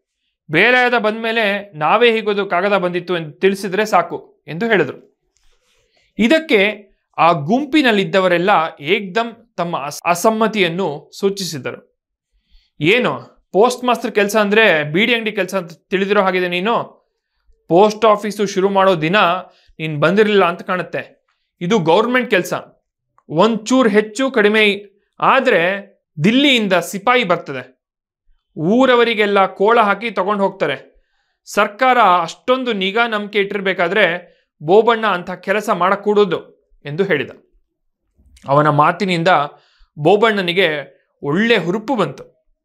ಕಳ್ಳನಾಟಿ ಅಥವಾ ಕಳ್ಳ ಶರಾಬು ಮುಂತಾದವನ್ನೇನಾದರೂ ಪೊಲೀಸಿನವರು ಹಿಡಿದರೆ ಮಹಜರಿಗೆ ಬೋಬಣ್ಣನನ್ನೇ ಕರೆಯುತ್ತಿದ್ದರು. ಇದರಿಂದೆಲ್ಲ ಬೋಬಣ್ಣನಿಗೆ ಆಗಲೇ ಪೋಸ್ಟ್ ಮಾಸ್ತ್ರಿಕೆ ಬಗ್ಗೆ ಒಂದು ಒಳ್ಳೆ ಗೌರವ ಹೆಮ್ಮೆ ಬಂದಿತ್ತು. ಆದುದರಿಂದ ಮತ್ತೆ ಕಾಣದಿಲ್ಲೇನೋ? ಸಾವಿರಾರು ರೂಪಾಯಿಯ ಮಾಲನ್ನು ನನ್ನ ಸುಪರ್ದಿಗೆ ಕೊಟ್ಟಿದ್ದಾರೆ. ಯಾರು ಕೊಡ್ತಾರೆ ಹೀಗೆ ಹೇಳಿ ನೋಡೋಣ ಎಂದು ಜಂಬದಿಂದ ಕೇಳಿದನು. ಮತ್ತೆ ಮತ್ತೆ ಅಲ್ವೇ? ಮುಂತಾದ ಉದ್ಗಾರಗಳು ಗುಂಪಿನಿಂದ ಹೊರಟವು. ಯಾರು ಯಾರಿಗೆ ಏನಾದರೂ ಕಾಗದ ಬರೆದುಕೊಳ್ಳಿ ಪೋಸ್ಟ್ ಮಾಸ್ತರ ಡ್ಯೂಟಿ ಅವನು ಮಾಡಲೇಬೇಕು. ಡ್ಯೂಟಿ ಅಂದಮೇಲೆ ಡ್ಯೂಟಿ. ಪೋಸ್ಟ್ ಮಾಸ್ತರು ಅಂದರೆ ಏನು ಸ್ಕೂಲ್ ಮಾಸ್ತರ ಹಂಗ ಎಂದ ಇನ್ನೊಬ್ಬ. ಪೋಸ್ಟ್ ಮಾಸ್ಟರ್ ಅಂದರೆ ಮಿನಿಸ್ಟರ್ ಇದ್ದಂಗೆ ಪೊಲೀಸ್ನವರು ಸಹ ಅವನನ್ನು ಮುಟ್ಟೋ ಹಾಗಿಲ್ಲ ಎಂದ ಇನ್ನೊಬ್ಬ. ಹೀಗೆ ಒಬ್ಬೊಬ್ಬರು ಒಂದೊಂದು ಬಗೆಯಾಗಿ ಪೋಸ್ಟ್ ಮಾಸ್ತ್ರಿಕೆಯನ್ನು ಹೊಗಳಿದರು. ಅಂತೂ ಬೇಲಾಯದನ ಕಾಗದಕ್ಕೇನು ಮಾಡಬೇಕೆಂಬುದರ ಬಗ್ಗೆ ಯಾರಿಗೂ ಯಾವೊಂದು ಸುಸಂಬದ್ಧ ಅಭಿಪ್ರಾಯವೂ ಇದ್ದಂತೆ ಕಾಣಲಿಲ್ಲ. ಬೋಬಣ್ಣನಿಗೂ ಏನು ಮಾಡಬೇಕೆಂದು ತಿಳಿಯಲಿಲ್ಲ. ಆದರೂ ಆ ಕಾಗದ ಹರಿದೆಸೆದು ಇದನ್ನು ಗತಕಾಲದ ಗೋರಿಯೊಳಗೆ ಹೂಳಿ ಹಾಕಲು ಅವನು ತಯಾರಿರಲಿಲ್ಲ. ನಗ್ನ ಚಿತ್ರ, ಪದ್ಮಿ, ಎಲ್ಲ ಯಾವುದೋ ಒಂದು ಅಸಂತೃಪ್ತಿಯ ಸಮುದ್ರದೊಳಗಿಂದ ಚಿಮ್ಮಿದ ಬಿಂದುಗಳಂತೆ ಹೊಳೆದವು. ಅವತ್ತು ಬೋಬಣ್ಣ ಬೇಲಾಯದನ ಕಾಗದವನ್ನು ಇನ್ನೊಂದು ಕಾಗದಕ್ಕೆ ನಕಲು ಮಾಡಿ ಬೇಲಾಯದನ ಉಜಿರೆ ವಿಳಾಸ ತಂದು ಅದನ್ನು ಪೋಸ್ಟ್ ಮಾಡಿದನು. ಯಾವುದೋ ಒಂದು ಅಧ್ಯಾಯ ಮುಗಿದಂತೆನಿಸಿ ವ್ಯಾಕುಲಗ್ರಸ್ತನಾಗಿದ್ದ ಬೋಬಣ್ಣ ಒಂದು ಕ್ಷಣ ಕರ್ತವ್ಯ ಪರಿಪಾಲಿಸಿದವನಂತೆ ನೆಮ್ಮದಿಯಾದನು. ಅತ್ತೆ ಮಾಚಮ್ಮ ಆ ದಿನ ಕಿಸಿ ಕಿಸಿ ಎಂದಾಗ ಡ್ಯೂಟಿ ಡ್ಯೂಟಿ ನನ್ನ ಡ್ಯೂಟಿ ನನಗೆ ನಿನ್ನ ಡ್ಯೂಟಿ ನಿನಗೆ. ನನ್ನ ಡ್ಯೂಟಿಗೆ ನೀನು ಅಡ್ಡ ಬರಬೇಡ ನಿನ್ನ ಡ್ಯೂಟಿಗೆ ನಾನು ಅಡ್ಡ ಬರೋಲ್ಲ ಎಂದು ಪ್ರತಿಯಾಗಿ ರೇಗಿದನು. ಕಾವೇರಿಗೆ ಆ ದಿನ ಎಲ್ಲಿಲ್ಲದ ಕ್ರೋಧ ಬಂದಿತ್ತು. ಆದರೆ ಬೋಬಣ್ಣ ಆ ದಿನದ ಮಾತುಕತೆಗಳನ್ನು ಮರೆತು ಬಿಟ್ಟಿದ್ದ ರಾತ್ರಿ ಮಲಗಿದಾಗ, ಅಭ್ಯಾಸವೋ, ಆಸೆಯೋ, ಚಪಲವೋ? ಬೋಬಣ್ಣನ ಕೈ ಕಾವೇರಿಯ ಮೇಲೆ ಹೋಯಿತು. ಕಾವೇರಿ ವಿಪರೀತ ಕೋಪದಿಂದ ಬೋಬಣ್ಣನ ಕೈಯನ್ನು ಝಾಡಿಸಿ ದೂಡಿದಳು. ಬೋಬಣ್ಣನಿಗೆ ಎಷ್ಟೋ ದಿನದಿಂದ ತಡೆ ಹಿಡಿದಿದ್ದ ತನ್ನ ಕೋಪವೆಲ್ಲ ಬಾಯಿಗೆ ಬಂದಂತಾಯ್ತು. ತನ್ನನ್ನು ಅವಶ್ಯಕವಾದ ಕಸಿವಿಸಿಯಲ್ಲಿ ನರಳಿಸುತ್ತಾ ಜೀವ ತಿನ್ನುವ ಶನಿ ಇವಳು ಎಂದುಕೊಂಡ. ಎಲ್ಲರ ಮನೆಯಲ್ಲಿನ ಎಲ್ಲ ಹೆಂಗಸರು ಹೀಗೆ ಇರುತ್ತಾರೆಯೇ ಎಂದು ಪ್ರಶ್ನಿಸಿಕೊಂಡ. ಪ್ರೀತಿಯಿಂದಲ್ಲದಿದ್ದರೂ ರೋಷದಿಂದಲಾದರೂ ಇವಳ ಮೇಲೆ ಅತ್ಯಾಚಾರ ಮಾಡಬೇಕು ಎಂದು ಆಲೋಚಿಸಿದನು. ಒಂದು ಕಾಲದಲ್ಲಿ ಆಲಂಗಿಸಿ ಮುದ್ದಿಸಿದ ಈ ಶರೀರವನ್ನು ಹೇಗೆ ಶಿಕ್ಷಿಸುವುದು ಎಂದು ಅವನ ಮನಸ್ಸು ಹೊಯ್ದಾಡತೊಡಗಿತು. ಥತ್, ದರಿದ್ರದವಳೆ, ನಿನಗೆ ತೆವಲು ಹೆಚ್ಚಾದಾಗ ಮುದುಕಿಗೆ ಕಾಣದಂತೆ ಕದ್ದು ಕದ್ದು ಬರ್ತಿದ್ದೆ. ಈಗ ಹೀಗಂತೀಯ? ಸೂಳೆರ್ ವಾಸಿ ನಿನಗಿಂತ. ಸಿಡಿ ಸಿಡಿ ಅಂದೆ ದುಡ್ಡಿಸ್ಕೊಂಡು ಕುಪ್ಸ ಬಿಚ್ತಾರೆ ಎಂದು ರೇಗ್ದ. ಬೋಬಣ್ಣ ಸೂಳೆ ಮನೆಗೇನು ಹೋಗಿರಲಿಲ್ಲ. ಕಾವೇರಿ ಮನ ನೋಯಿಸಲಿಕ್ಕಾಗಿ ಒಂದು ಅಂದಾಜಿನ ಮೇಲೆ ಹೇಳಿದ್ದ. ಕಾವೇರಿಗೂ ಇದು ಗೊತ್ತಿದ್ದಿತು. ಕಾವೇರಿಗೂ ಸಿಟ್ಟು ಬಂದಿತು. ಹಂಗೆ ಹತ್ತೂ ಕಡೆ ತೀರಿಸಿಕೊಂಡಿದ್ದರೆ ಮನೆಯಲ್ಲಿ ಹಿಂಗಾಗೋದು ಎಂದಳು. ಬೋಬಣ್ಣ ಕೋಪದಿಂದ ಇನ್ನೂ ಏನೇನೋ ಅಂದ. ಮಾತಿನ ಅಸ್ತ್ರ ಪ್ರತ್ಯಸ್ತ್ರಗಳ ಸುರಿಮಳೆಯಾಯಿತು. ಕಾವೇರಿ ಮಾತನಾಡದೆ ಮೌನವಾಗಿ ಅಳತೊಡಗಿದಳು. ಅಲ್ಲಿಂದಾಚೆಗೆ ದಿನೇ ದಿನೇ ಪರಿಸ್ಥಿತಿ ಹದಗೆಡುತ್ತಾ ಹೋಯಿತು. ಕಾವೇರಿ ಬೋಬಣ್ಣನೊಡನೆ ಹೆಚ್ಚು ಮಾತನಾಡುತ್ತಿರಲಿಲ್ಲ. ಪೋಸ್ಟ್ ಆಫೀಸು ಒಂದು ಬಗೆಯ ವಿಷಾದ ಗೃಹವಾಗಿ ಹೋಯಿತು. ಎಲ್ಲ ಸತ್ತವರ ಮನೆಯಂತೆ ವಿಷಣ್ಣವದನರಾಗಿ ಇರುತ್ತಿದ್ದರು. ಬೋಬಣ್ಣನ ಬಗ್ಗೆ ಇದ್ದ ಪ್ರೀತಿ ಎಲ್ಲ ಹೋದ ನಂತರ ಅವನೊಡನೆ ಒಡನಾಟ, ಸರಸ ಸಲ್ಲಾಪ, ಸಂಭೋಗ ಯಾವುದಕ್ಕೂ ಯಾವುದೇ ಅರ್ಥವೂ ಇಲ್ಲದೆ ಅಸಂಬದ್ಧವಾಗಿ ಹೋಯಿತು. ಬೋಬಣ್ಣನ ಕಾಮಚೇಷ್ಟೆಗಳೆಲ್ಲ ಅವನು ಎಲ್ಲೆಲ್ಲೋ ಕೈ ಹಾಕಿ ಕಚಗುಳಿ ಇಟ್ಟಂತಾಗುತ್ತಿತ್ತು. ತಬ್ಬಿಕೊಂಡರೆ ಮೈ ಮೇಲೆ ಹುಳು ಬುಳುಬುಳು ಹರಿದಾಡಿದಂತಾಗುತ್ತಿತ್ತು. ಕೊಡವಿಕೊಂಡೇಳುವಂತೆ ಆಗುತ್ತಿದ್ದಿತು. ಅವೇ ಒಂದು ಕಾಲದಲ್ಲಿ ಕಾವೇರಿಯನ್ನು ಕಾಮದ ಜ್ವಾಲಾಮುಖಿಯನ್ನಾಗಿ ಮಾಡುತ್ತಿದ್ದು, ಬೋಬಣ್ಣ ನಿಸ್ಸಹಾಯಕನಾಗಿದ್ದ. ತಾನು ಎಂದೆಂದೂ ಇವಳಿಗೆ ಚೈತನ್ಯವನ್ನೂ ಸ್ಫೂರ್ತಿಯನ್ನೂ ನೀಡದವನಾಗಿದ್ದೇನೆ ಎಂದೆನಿಸಿದಾಗ ಹುಚ್ಚು ಹಿಡಿದಂತೆನಿಸುತ್ತಿತ್ತು. ವರ್ಷದ ಕೊನೆಯಾಗುತ್ತಾ ಬಂದಿತು. ತೋಟಕ್ಕೆ ಹೊಸ ಆಳುಗಳನ್ನು ಮಾಡುವ ಹಳೆ ಆಳುಗಳಿಗೆ ಲೆಕ್ಕಾಚಾರ ಮಾಡಿ ಉಳಿದದ್ದು ಕೊಡುವ ಕೆಲಸ ಆರಂಭವಾಯಿತು. ಇದೇ ಸಂದರ್ಭದಲ್ಲಿ ಮಾಚಮ್ಮ ಬೋಬಣ್ಣನ ಮದುವೆಗೆ ಮಾಡಿದ ಸಾಲವನ್ನು ಅವನೇ ತೀರಿಸಬೇಕೆಂದು ತೋಟದ ಮಾಲೀಕರಾದ ಸಾಹೇಬರಲ್ಲಿ ವಿನಂತಿಸಿಕೊಂಡಳು. ಅವಳ ವಾದ ಇಷ್ಟೇ. ಅವಳು ಆ ಹಣವನ್ನು ಬೋಬಣ್ಣನ ಮದುವೆಗೆ ಖರ್ಚು ಮಾಡಿದ್ದೇ ಹೊರತು ತನ್ನ ಸ್ವಂತಕ್ಕೆ ಅಲ್ಲ. ಕಾವೇರಿ ಮದುವೆಯಾದಾಗಿನಿಂದ ಅವಳು ಕೆಲಸಕ್ಕೆ ಬರುವುದು ಕಡಿಮೆಯಾಗಿ ತನ್ನ ಗಳಿಕೆಯೂ ಕಡಿಮೆಯಾಗಿದೆ. ಬೋಬಣ್ಣನಿಗೆ ಪೋಸ್ಟ್ ಮಾಸ್ತರ ಸಂಬಳ ಪೋಸ್ಟ್ ಆಫೀಸಿನ ಬಾಡಿಗೆ ಇತ್ಯಾದಿ ಹೊಸ ಗಳಿಕೆ ಇದೆ ಎಂದು.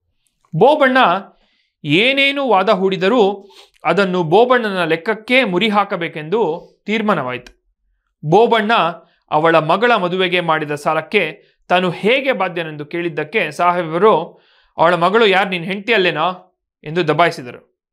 ಬೋಬಣ್ಣನಿಗೆ ಕೋಪ ತಡೆಯಲಾಗಲಿಲ್ಲ. ಹಾಗಿದ್ದರೆ ತಾನು ಬೇರೆ ಮನೆ ಮಾಡುತ್ತೇನೆಂದು ಸಾಹೇಬರ ಎದುರು ಕೂಗಾಡಿದನು. ಮಾಚಮ್ಮ ಆಗ ಇಷ್ಟಿನ ಸಾಕಿದವಳನ್ನು ನಿನ್ನ ಹಿಂದೆ ಬೀದಿಪಾಲು ಮಾಡಕ್ಕೆ ಅಲ್ವಾ? ಎಂದು ಕೊಂಕು ಮಾತನಾಡಿದಳು. ಕಾವೇರಿ ಅಲ್ಲೇ ಇದ್ದಳು. ಮಾಚಮ್ಮ ಹಾಗೆಂದಾಗ ಬೋಬಣ್ಣ ಕಾವೇರಿ ಕಡೆ ನೋಡಿದ. ಕಾವೇರಿ, ಬೋಬಣ್ಣ ಯಾವನೋ ಎಂಬಂತೆ ಬೋಬಣ್ಣನ ಕಡೆ ಶೂನ್ಯ ನೋಟ ಬೀರುತ್ತಿದ್ದಳು. ಬೋಬಣ್ಣನಿಗೆ ತಾನೇ ಬಿಟ್ಟು ಹೋಗುವುದಾದರೆ ಅದಕ್ಕೂ ತಯಾರಿರುವುದನ್ನು ನೋಡಿ ಹತಾಶೆ ಆಯಿತು ತನ್ನ ಮಗುವನ್ನು, ಮಗಳನ್ನು ನೆನೆದ. ತನ್ನ ಪೋಸ್ಟ್ ಮಾಸ್ತ್ರಿಕೆಯನ್ನು ನೆನೆದ. ಆಗಬಹುದು ತಾನೇ ತೀರಿಸುತ್ತೇನೆಂದು ಹೇಳಿದ. ಹಾಗೆ ಹೇಳುವಾಗ ಅವನ ಕಂಠ ಗದ್ಗದವಾಗಿತ್ತು. ಆ ದಿನ ಸಾಯಂಕಾಲದವರೆಗೂ ಬೋಬಣ್ಣ ಸುಮ್ಮನೆ ಕುಳಿತಿದ್ದ. ಜೀವನದಲ್ಲಿ ತಾನು ಯಾವ ಧೋರಣೆಯನ್ನು ಅನುಸರಿಸಬೇಕೆಂಬುದೇ ಅವನಿಗೆ ತೋಚದಾಗಿದ್ದಿತ್ತು. ಎಲ್ಲದಕ್ಕೂ ಹ್ಞೂ ಹ್ಞೂ ಎಂಬ ಎರಡೇ ಉತ್ತರ ಕೊಡುತ್ತಿದ್ದ. ಯಾರೋ ಕಾಗದ ಬರೆದು ಕೂಡಲು ಯಾರೋ ಕಾಗದ ಬರೆದು ಕೊಡಲು ಹೇಳಿದರು. ಸುಮ್ಮನೆ ಯಾಂತ್ರಿಕವಾಗಿ ಬರೆದುಕೊಟ್ಟನು ಸಾಯಂಕಾಲ ಮುಗಿದು ಕತ್ತಲಾಗುತ್ತಾ ಬಂದಿತು. ಮನೆಯೊಳಗೆ ಹೋಗಬಹುದೋ ಬೇಡವೋ ಎನ್ನುವಂತೆ ಧೇನಿಸುತ್ತಾ ಎದ್ದ. ಆ ಹೊತ್ತಿಗೆ ಸರಿಯಾಗಿ ದೂರದಲ್ಲಿ ಯಾರೋ ಮಾತನಾಡುತ್ತಾ ಬರುತ್ತಿರುವಂತೆ ಕಂಡಿತು. ಹತ್ತು, ಹದಿನೈದು ಜನರಿರುವಂತಹ ಗುಂಪೊಂದು ರಸ್ತೆ ತಿರುವಿನಲ್ಲಿ ಕಾಣಿಸಿಕೊಂಡಿತು. ಬೋಬಣ್ಣ ಯಾರೆಂದು ನೋಡುತ್ತಾ ನಿಂತ. ಗುಂಪು ನಿಧಾನವಾಗಿ ಪೋಸ್ಟ್ ಆಫೀಸಿನ ಬಳಿಯೇ ಬಂದಿತು. ಬೋಬಣ್ಣ ನೋಡುತ್ತಲೇ ಇದ್ದ. ಕತ್ತಲಾಗುತ್ತಿದ್ದುದರಿಂದ ಯಾರೂ ದೂರದಿಂದ ಸ್ಪಷ್ಟವಾಗಿ ಕಾಣುತ್ತಿರಲಿಲ್ಲ. ಯಾರೋ ಓರ್ವ ಹೆಣ್ಣು ಮಗಳು ಅಳುತ್ತಿರುವುದು ಮಾತ್ರ ಕೇಳಿತು. ಬೋಬಣ್ಣ ಕಣ್ಣಿಗೆ ಕಾಣುತ್ತಲೂ ಯಾವನೋ ಒಬ್ನು, ಈ ತಲೆ ಹಿಡಿಕ್ ನನ್ನ ಮಕ್ಕಳಿಗೆಲ್ಲ ಪೋಸ್ಟ್ ಮಾಸ್ಟರ್ಗೆ ವಹಿಸಿದ್ರೆ ಇನ್ನೇನಾಗುತ್ತೆ? ಎಂದು ಕೂಗುತ್ತಾ ಬಂದನು. ಬೋಬಣ್ಣನ ನೊಂದ ಮನಸ್ಸಿಗೆ ಕುದಿ ನೀರು ಚೆಲ್ಲಿದಂತಾಯಿತು. ಗುಂಪು ಹತ್ತಿರ ಬರುತ್ತಿದ್ದಂತೆಯೇ ಮೂಗೂರಿನ ತೋಟದ ಮೇಸ್ತ್ರಿ, ಯಾವನ ಸೂಳೆ ಮಗ, ಇಲ್ಲದ್ದು ಸಲ್ಲದ್ದು ನನ್ನ ಮೇಲೆ ಹೇಳಿರೋದು? ಅವನು ಗಂಡ್ಸಾಗಿದ್ರೆ ಹೇಳಿಲ್ಲೇ? ಎಂದು ಕೂಗಾಡಿದನು. ಬೋಬಣ್ಣನ ಕಣ್ಣಿಗೆ ಆ ಗುಂಪಿನಲ್ಲಿದ್ದ ಬೇಲಾಯದ, ಅವನ ಹೆಂಡತಿ, ಮಗಳು ಮುಂತಾದವರೆಲ್ಲ ಒಬ್ಬೊಬ್ಬರಾಗಿ ದೃದ್ಗೋಚರವಾದರು. ಎಲ್ಲರೂ ಶರಾಬು ಕುಡಿದುಕೊಂಡು ಗಮಗಮ ವಾಸನೆ ಹೊಡೆಯುತ್ತಿದ್ದರು. ಬಂದವರೇ ಹೀನಮಾನ ಬೋಬಣ್ಣನನ್ನು ದೂಡಾಡಿದರು. ಬೋಬಣ್ಣ ಮೂಗೂರಿನ ತೋಟದ ಮೇಸ್ತ್ರಿಗೆ, ಹಲ್ಲಿಡಿದು ಮಾತನಾಡೋ ಮಗನೇ ನಿನ್ನಂಥವರು ಹತ್ತು ಜನ ನನ್ನ ಕೈಕಳ ಕೆಲಸಕ್ಕಿದ್ದಾರೆ, ಗೊತ್ತಾಯ್ತೋ? ಎಂದು ಬೈದನು. ನೀನು ಅಪ್ಪಂತ ಮನುಷ್ಯ ಆಗಿದ್ರೆ ಈ ಕಾಗದ ಬರೆದು ಹೆಣ್ಣಿನ ಮರ್ಯಾದೆ ತೆಗೆಯೋ ಕೆಲಸಕ್ಕೆ ಯಾಕೋ ಹೋದೆ? ಎಂದಿತು ಯಾವುದೋ ದನಿ. ಯಾವನ್ ಬರ್ದನೋ ಅವನನ್ನು ಕೇಳ್ಕೊ ನನ್ನ ಹತ್ರ ಯಾಕೆ ಪೊಗರು ತೋರಿಸ್ತೀಯಾ? ಎಂದು ಬೋಬಣ್ಣ ಆ ಗುಂಪಿನಿಂದ ಬಂದ ಅಶರೀರವಾಣಿಗೆ ಉತ್ತರಿಸಿದನು. ಬೋಬಣ್ಣ ಹಾಗೆಂದ ಕೂಡಲೇ, ಇನ್ಯಾವನೋ ಬರೆದವ ನಿನ್ನಪ್ಪ ಸುಳ್ಳು ಬೇರೆ ಬೊಗಳ್ತೀಯ? ಎಂದು ಬೇಲಯದ ಒಂದು ಕಾಡನ್ನು ಬೋಬಣ್ಣನ ಎದುರು ಹಿಡಿದನು. ಬೋಬಣ್ಣ ನೋಡಿದ. ನೋಡಿದರೆ ಅದು ಬೇಲಾಯದನಿಗೆ ಬಂದ ಕಾಗದವನ್ನು ಬೋಬಣ್ಣ ನಕಲು ಮಾಡಿ ಹಾಕಿದುದಾಗಿತ್ತು. ಬೋಬಣ್ಣ, ಅದು ತಾನೇ ಬರೆದದ್ದು ಹೌದೆಂದು, ಆದರೆ ಅದು ಬೇಲಾಯದನಿಗೆ ಬಂದ ಕಾಗದವನ್ನು ನಕಲು ಮಾಡಿ ಹಾಕಿದುದೆಂದು ಹೇಳಿದನು. ಗುಂಪಿನಲ್ಲಿ ಅದನ್ನು ಯಾರೂ ಕೇಳಲು ಸಿದ್ಧರಿರಲಿಲ್ಲ. ಅವರು ಆ ಸುದ್ದಿಯ ಸುಳ್ಳನ್ನು ರುಜುವಾತು ಮಾಡುವುದು ಆ ಕಾಗದ ಬರೆದವನನ್ನು ಹೇಗೆ ಶಿಕ್ಷಿಸುತ್ತಾರೆ ಎಂಬುದನ್ನೇ ಅವಲಂಬಿಸಿತ್ತು. ಅದೂ ಅಲ್ಲದೆ ಮೂಗೂರಿನ ಮೇಸ್ತ್ರಿಯು ಮತ್ತೆ ಹಲವರು ಈ ಸಂದರ್ಭವನ್ನೇ ಉಪಯೋಗಿಸಿಕೊಂಡು ಬೇಲಾಯದನ ಮಗಳು ಪದ್ಮಿಯ ಮೇಲೆ ಪ್ರಭಾವ ಬೀರಲು ಪ್ರಯತ್ನಿಸುತ್ತಿದ್ದರು. ಈ ಗಲಾಟೆ ಕೇಳಿ ಕಾವೇರಿ, ಮಾಚಮ್ಮ ಎಲ್ಲ ಒಳಗಿಂದ ಹೊರಬಂದು ನಿಂತರು. ಬೇಲಾಯದ ನಡೆದುದೆಲ್ಲವನ್ನು ವಿವರಿಸತೊಡಗಿದ. ಬೋಬಣ್ಣ ತನ್ನ ಮಗಳನ್ನು ಮೂಗೂರಿನ ಮೇಸ್ತ್ರಿ ಇಟ್ಟುಕೊಂಡಿದ್ದಾನೆಂದು ಊರೆಲ್ಲ ಸುದ್ದಿ ಮಾಡಿದುದಲ್ಲದೆ ಕಾಗದವನ್ನು ಉಜಿರೆಗೆ ಬರೆದನೆಂದು ತಾನು ಉಜಿರೆಯಲ್ಲಿ ಇಲ್ಲದೆ ಬೆಳ್ತಂಗಡಿಗೆ ಹೋಗಿದ್ದರಿಂದ ಆ ಕಾಗದವನ್ನು ಅಲ್ಲಿಗೆ ಕಳಿಸಿದರೆಂದು, ಆದರೆ ಕಾಗದ ಅಲ್ಲಿಗೆ ಬರುವ ಹೊತ್ತಿಗೆ ನಾನು ಅಲ್ಲಿಯೂ ಇರದೆ ಬಂಟವಾಳಕ್ಕೆ ಹೊರಟಿದ್ದನೆಂದು, ಆದುದರಿಂದ ಆ ಕಾಗದ ಬಂಟವಾಳಕ್ಕೆ ಬಂದಿತೆಂದು ಹೋದ ಹೋದಲ್ಲೆಲ್ಲ ಎಲ್ಲರೂ ಆ ಕಾಡನ್ನು ಓದಿ ಕಳಿಸಿದ್ದರಿಂದ ತನ್ನ ಬಂಧುವರ್ಗದಲ್ಲಿ ತನ್ನ ಮರ್ಯಾದೆ ಸಂಪೂರ್ಣವಾಗಿ ಹೋಯ್ತೆಂದು ಬೇಲಾಯದ ಮಾಚಮ್ಮನಿಗೆ ವಿವರಿಸಿದ. ಅವನು ತನ್ನ ಮಗಳಿಗೆ ಗಂಡು ನೋಡಲು ಹೋಗಿದ್ದನೆಂದು, ಆದರೆ ಈಗ ಸದ್ಯದ ಭವಿಷ್ಯದಲ್ಲಿ ಯಾರೂ ಮದುವೆಯಾಗೋ ಸಂಭವವೇ ಇಲ್ಲವೆಂದು, ಗಂಡು ಸಿಗದೆ ತನ್ನ ಜಾತಿಯಲ್ಲಿ ಸುಮಾರು ಜನ ಹುಡುಗಿಯರು ಹಾದಿ ತಪ್ಪಿ ಹೋಗಿದ್ದಾರೆಂದು ಗೊಳೋ ಎಂದು ಅತ್ತನು. ಇದರೊಡನೆ ಮೂಗೂರಿನ ಮೇಸ್ತ್ರಿಯು ಬೇಲಾಯದ ಅವನ ಮಗಳನ್ನು ಹೊಡೆದು ಕೊಂದೇ ಹಾಕುವುದರಲ್ಲಿದ್ದನೆಂದು ಪುಣ್ಯಕ್ಕೆ ಅಷ್ಟರಲ್ಲಿ ಅವನಿಗೆ ಗೊತ್ತಾಗಿ ಓಡಿ ಹೋಗಿ ಒಂದು ಹೆಣ್ಣು ಮಗಳ ಜೀವ ಉಳಿಸಿದನೆಂದು ಆತ್ಮ ಪ್ರಶಂಸೆಯೊಂದಿಗೆ ಚಾಡಿ ಹೇಳಿದ. ಮಾಚಮ್ಮನು ಅವನೊಡನೆ ಊರಿನ ಪಂಚಾಯಿತಿಗೆ, ಇವನು ಯಾಕೆ ಮೂಗು ಹಾಕಬೇಕು? ನನ್ನ ಮನೆ ಪೋಸ್ಟ್ ಆಫೀಸು ಮಾಡಿ ನನ್ನ ಮರ್ಯಾದೆ ಎಲ್ಲ ತೆಗೆಯುತ್ತಿದ್ದಾನೆ. ಈ ಪೋಸ್ಟ್ ಆಫೀಸು ಬಂದು ಊರಿಗೆ ನಿಷ್ಠ ಹಿಡಿದಿದೆ ಎಂದು ಕೂಗಾಡತೊಡಗಿದಳು. ಬೋಬಣ್ಣನ ಪರವಾಗಿ ಮಾತನಾಡುವವನು ಯಾರೂ ಕಾಣಲೇ ಇಲ್ಲ. ಒಂದೆರಡು ಜನ ಬೇಲಾಯದನಿಗೆ ಬಂದ ಮೂಲ ಕಾಗದ ನೋಡಿದವರಿದ್ದರು. ಅವರು, ಬೋಬಣ್ಣನೇ ಅದನ್ನು ಯಾಕೆ ಬರೆದಿರಬಾರದು ಎಂಬ ಗುಮಾನಿ ಆರಂಭವಾಯಿತೋ ಏನೋ. ಅವರು ಯಾರೂ ಮಧ್ಯೆ ಬಾಯಿ ಹಾಕಲೇ ಇಲ್ಲ. ಹಾಗಾಗಿ ಅಲ್ಲಿ ಬಂದಿದ್ದವರೆಲ್ಲ ಬೋಬಣ್ಣನಿಗೆ ಎದ್ವಾ ತದ್ವಾ ಬಯತೊಡಗಿದರು ಬೋಬಣ್ಣನಿಗೆ ತನ್ನ ತಪ್ಪಾದರೂ ಏನೆಂದು ಅರ್ಥವಾಗದೆ ಸುಮ್ಮನೆ ಪಶುವಿನ ಥರ ನಿಂತಿದ್ದ. ಎಲ್ಲ ಬೈದು ಬೈದು ಸುಸ್ತಾಗಬಹುದೆಂದು ಎಲ್ಲಕ್ಕೂ ಕೊನೆ ಎಂಬುದಿದೆ ಎಂದು. ಎಲ್ಲಕ್ಕಿಂತ ಹೆಚ್ಚು ದುಃಖ ಉಂಟು ಮಾಡಿದ್ದೆಂದರೆ ಕಾವೇರಿಯ ಮೌನ. ಒಂದು ಚಕಾರ ಎತ್ತದೆ ಅವಳು ಸುಮ್ಮನಿದ್ದಳು. ಅವಮಾನ ಸಹಿಸುವುದಕ್ಕಿಂತ ರೌರವ ನರಕ ಇನ್ನೊಂದಿಲ್ಲ ಎನಿಸಿತು ಬೋಬಣ್ಣನಿಗೆ. ನೋಡು ಬೇಲಾಯದ ನನ್ನ ಡ್ಯೂಟಿ ನಾನು ಮಾಡಿದ್ದೀನಿ. ನಿನ್ನ ಕಾಗದ ಇಲ್ಲಿ ಹಾಳಾಗ್ತಾ ಬಿದ್ದಿತ್ತು. ಅದನ್ನು ನಕಲು ಮಾಡಿ ಕಳಿಸಿದೆ. ನಿನ್ನ ಮಗಳು ಎಂಥವಳೋ, ನೀನೆಂಥವನೋ ನನಗೇನು ಗೊತ್ತು ಎಂದು ಬೇಲಾಯದನಿಗೆ ಹೇಳಿದ.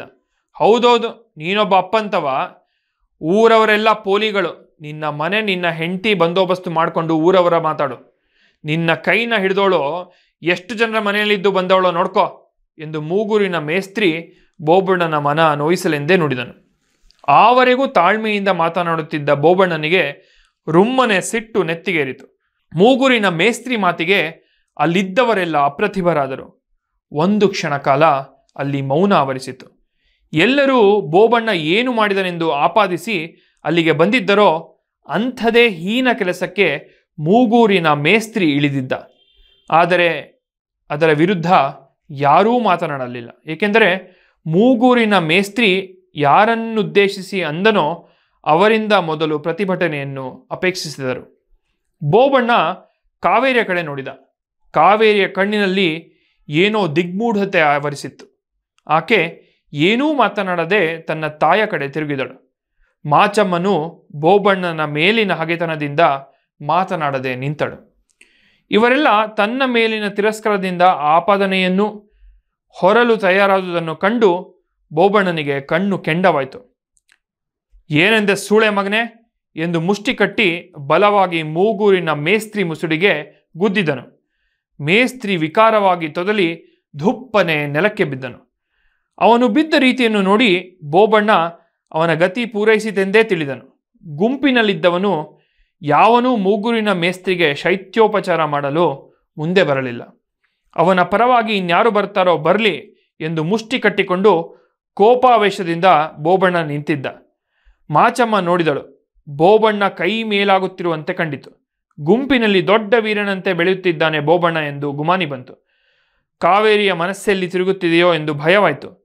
ಮೌನವಾಗಿ ನಿಂತಿದ್ದ ಗುಂಪಿನೊಳಗೆ ನುಗ್ಗಿ ಬಿದ್ದಿದ್ದ ಮೇಸ್ತ್ರಿ ಬಳಿ ಕುಳಿತು, ಅಯ್ಯಯ್ಯೋ, ಕೊಂದೆ ಬಿಟ್ನಲ್ಲೋ? ನಿನ್ನ ಮನೆ ಹಾಳಾಗ? ನಿನ್ನಂಥ ಮನೆ ಹಾಳನಿಗೆ ಮಗಳು ಕೊಟ್ಟು ಅವಳ ಬಾಯಿಗೆ ಮಣ್ಣು ಹಾಕಿದ್ನಲ್ಲೋ? ಎಂದು ಒರಲಿ ಊಳಿಡತೊಡಗಿದಳು. ಅವಳೊಡನೆ ಇನ್ನೊಂದೆರಡು ಜನ ಇದ್ದಕ್ಕಿದ್ದಂತೆ ಮೂಗೂರಿನ ಮೇಸ್ತ್ರಿಗೆ ತಾವು ಆಪ್ತರೆಂಬಂತೆ ಆರೋಪಿಸಿಕೊಂಡು, ಅಯ್ಯಯ್ಯೋ, ಹೋದೇನೋ? ಬರ್ತಾರಲ್ಲೋ ಪೊಲೀಸ್ನೋ ನಾಳೆ? ಎಂದು ಒರಲತೊಡಗಿದರು. ಬೋಬಣ್ಣ ನೋಡಿದ. ಪರಿಸ್ಥಿತಿ ವಿಕೋಪಕ್ಕೆ ಸರಿಯುತ್ತಿದ್ದಂತೆ ಕಂಡಿತು. ಮೂಗೂರಿನ ಮೇಸ್ತ್ರಿಗೆ ಶ್ವಾಸವೇ ನಿಂತು ಹೋಗಿದೆಯೋ ಏನೋ ಎಂದು ಅನುಮಾನವಾಯಿತು. ಅನಿರೀಕ್ಷಿತ, ಅನಪೇಕ್ಷಿತ ತೊಂದರೆಗಳ ಆಘಾತಕ್ಕೆ ಜರ್ಜರಿತನಾಗಿದ್ದ ಬೋಬಣ್ಣನ ಬಿಗಿದ ಮುಷ್ಟಿ ಸಡಿಲಗೊಳ್ಳತೊಡಗಿತು. ಕಾವೇರಿ ನೀರು ತರಲು ಒಳಗೆ ಹೋಗಿದ್ದಳು. ಸತ್ತೋಗಿ ಸುಳೆ ಮಕ್ಕಳ ಎಂದು ಒಂದಷ್ಟು ಜನರನ್ನು ದೂಡಿ ಗುಂಪು ಬಿಟ್ಟು ಹೊರಟ. ಅರೆ, ಎಲ್ಲಿಗಿರಿ ಹೋಗ್ತೀರಾ? ಅರೆ, ತಡೀರಿ ಕೊಂಚ. ನಿಲ್ಲಯ್ಯ. ಏ ಏ, ನಿಲ್ಸ್ರಿ ಅವ್ರನ್ನ ಇತ್ಯಾದಿ ಮಾತುಗಳು ಗುಂಪಿನಿಂದ ಬರುತ್ತಿದ್ದಂತೆಯೇ ಬೋಬಣ್ಣ ಎಲ್ಲರನ್ನೂ ದೂಡಿಕೊಂಡು ವೇಗವಾಗಿ ಹೊರಟು ಹೋದ. ಏ ಏ ಏ ಹಿಡ್ಕೋ ಅವ್ರನ್ನ ಎಂದು ಯಾರೋ ಯಾವನಿಗೋ ಕೂಗಿ ಹೇಳಿದರು. ಯಾವನೋ ದಾರಿಯಲ್ಲಿ ಬರುತ್ತಿದ್ದವನು ವೇಗವಾಗಿ ಬರುತ್ತಿದ್ದ ಬೋಬಣ್ಣನನ್ನು ತಡೆಯಲು ಅಡ್ಡ ಬಂದ ಬೋಬಣ್ಣ ಝಾಡಿಸಿ ಅವನ ಹೊಟ್ಟೆಗೆ ಒದ್ದು ಮುಷ್ಟಿಯಿಂದ ಮೋರೆಗೆ ಅಪ್ಪಳಿಸಿದ. ಅವನು ಹೆಚ್ಚು ಕಡಿಮೆ ಉಸಿರೆತ್ತದೆ ನೆಲಕ್ಕೆ ಬಿದ್ದನು. ಇವನ ಹಿಂದೆ ಬರುತ್ತಿದ್ದ ಇನ್ನೊಬ್ಬನು ಮೊದಲಿನವನಿಗಾದ ಗತಿ ನೋಡಿ ಕಾಲಿಗೆ ಬುದ್ಧಿ ಹೇಳಿದ. ಎರಡು ಮೂರು ಜನ ರಸ್ತೆಯಲ್ಲಿ ಓಡುತ್ತಿರುವುದನ್ನು ನೋಡಿ ಯಾರನ್ನು ಹಿಡಿಯಬೇಕೋ ಏನು ಕಥೆಯೋ ತಿಳಿಯದೆ ಸುತ್ತಲಿನ ಜನ ಕಂಗಾಲಾಗಿ ನಿಂತರು. ಕೋಪದಿಂದ ಕೆಂಡವಾಗಿದ್ದ ಬೋಬಣ್ಣ ಅಡ್ಡ ಬಂದ ನೊಗ ಹೊತ್ತಿದ್ದ ಎರಡೆತ್ತುಗಳಲ್ಲಿ ಒಂದಕ್ಕೆ ಹೊಟ್ಟೆಯಲ್ಲಿದ್ದುದೆಲ್ಲ ಕಕ್ಕಿಕೊಳ್ಳುವಂತೆ ಒದ್ದನು. ಅವಕ್ಕೆ ತಲೆ ಕೆಟ್ಟು ನೊಗದ ಸಮೇತ ಗುಂಪಿನ ಮೇಲೆ ನುಗ್ಗಿ ನಾಲ್ಕಾರು ಜನ ಅಪ್ಪಳಿಸಿ ನೆಲಕ್ಕೆ ಬಿದ್ದರು. ಬೋಬಣ್ಣ ಹಿಂದಿರುಗಿ ನೋಡದೆ ಓಡಿ ಓಡಿ ಕತ್ತಲಲ್ಲಿ ಕರಗಿ ಹೋದನು. ಮಾರನೇ ದಿನ ಪೋಸ್ಟ್ ಆಫೀಸನ್ನು ವಿದ್ಯುಕ್ತವಾಗಿ ಮುಚ್ಚಲಾಯಿತು. ಕಾವೇರಿ ಮಾಚಮ್ಮನೊಂದಿಗೆ ತೋಟದ ಕೆಲಸಕ್ಕೆ ಹೋಗತೊಡಗಿದಳು.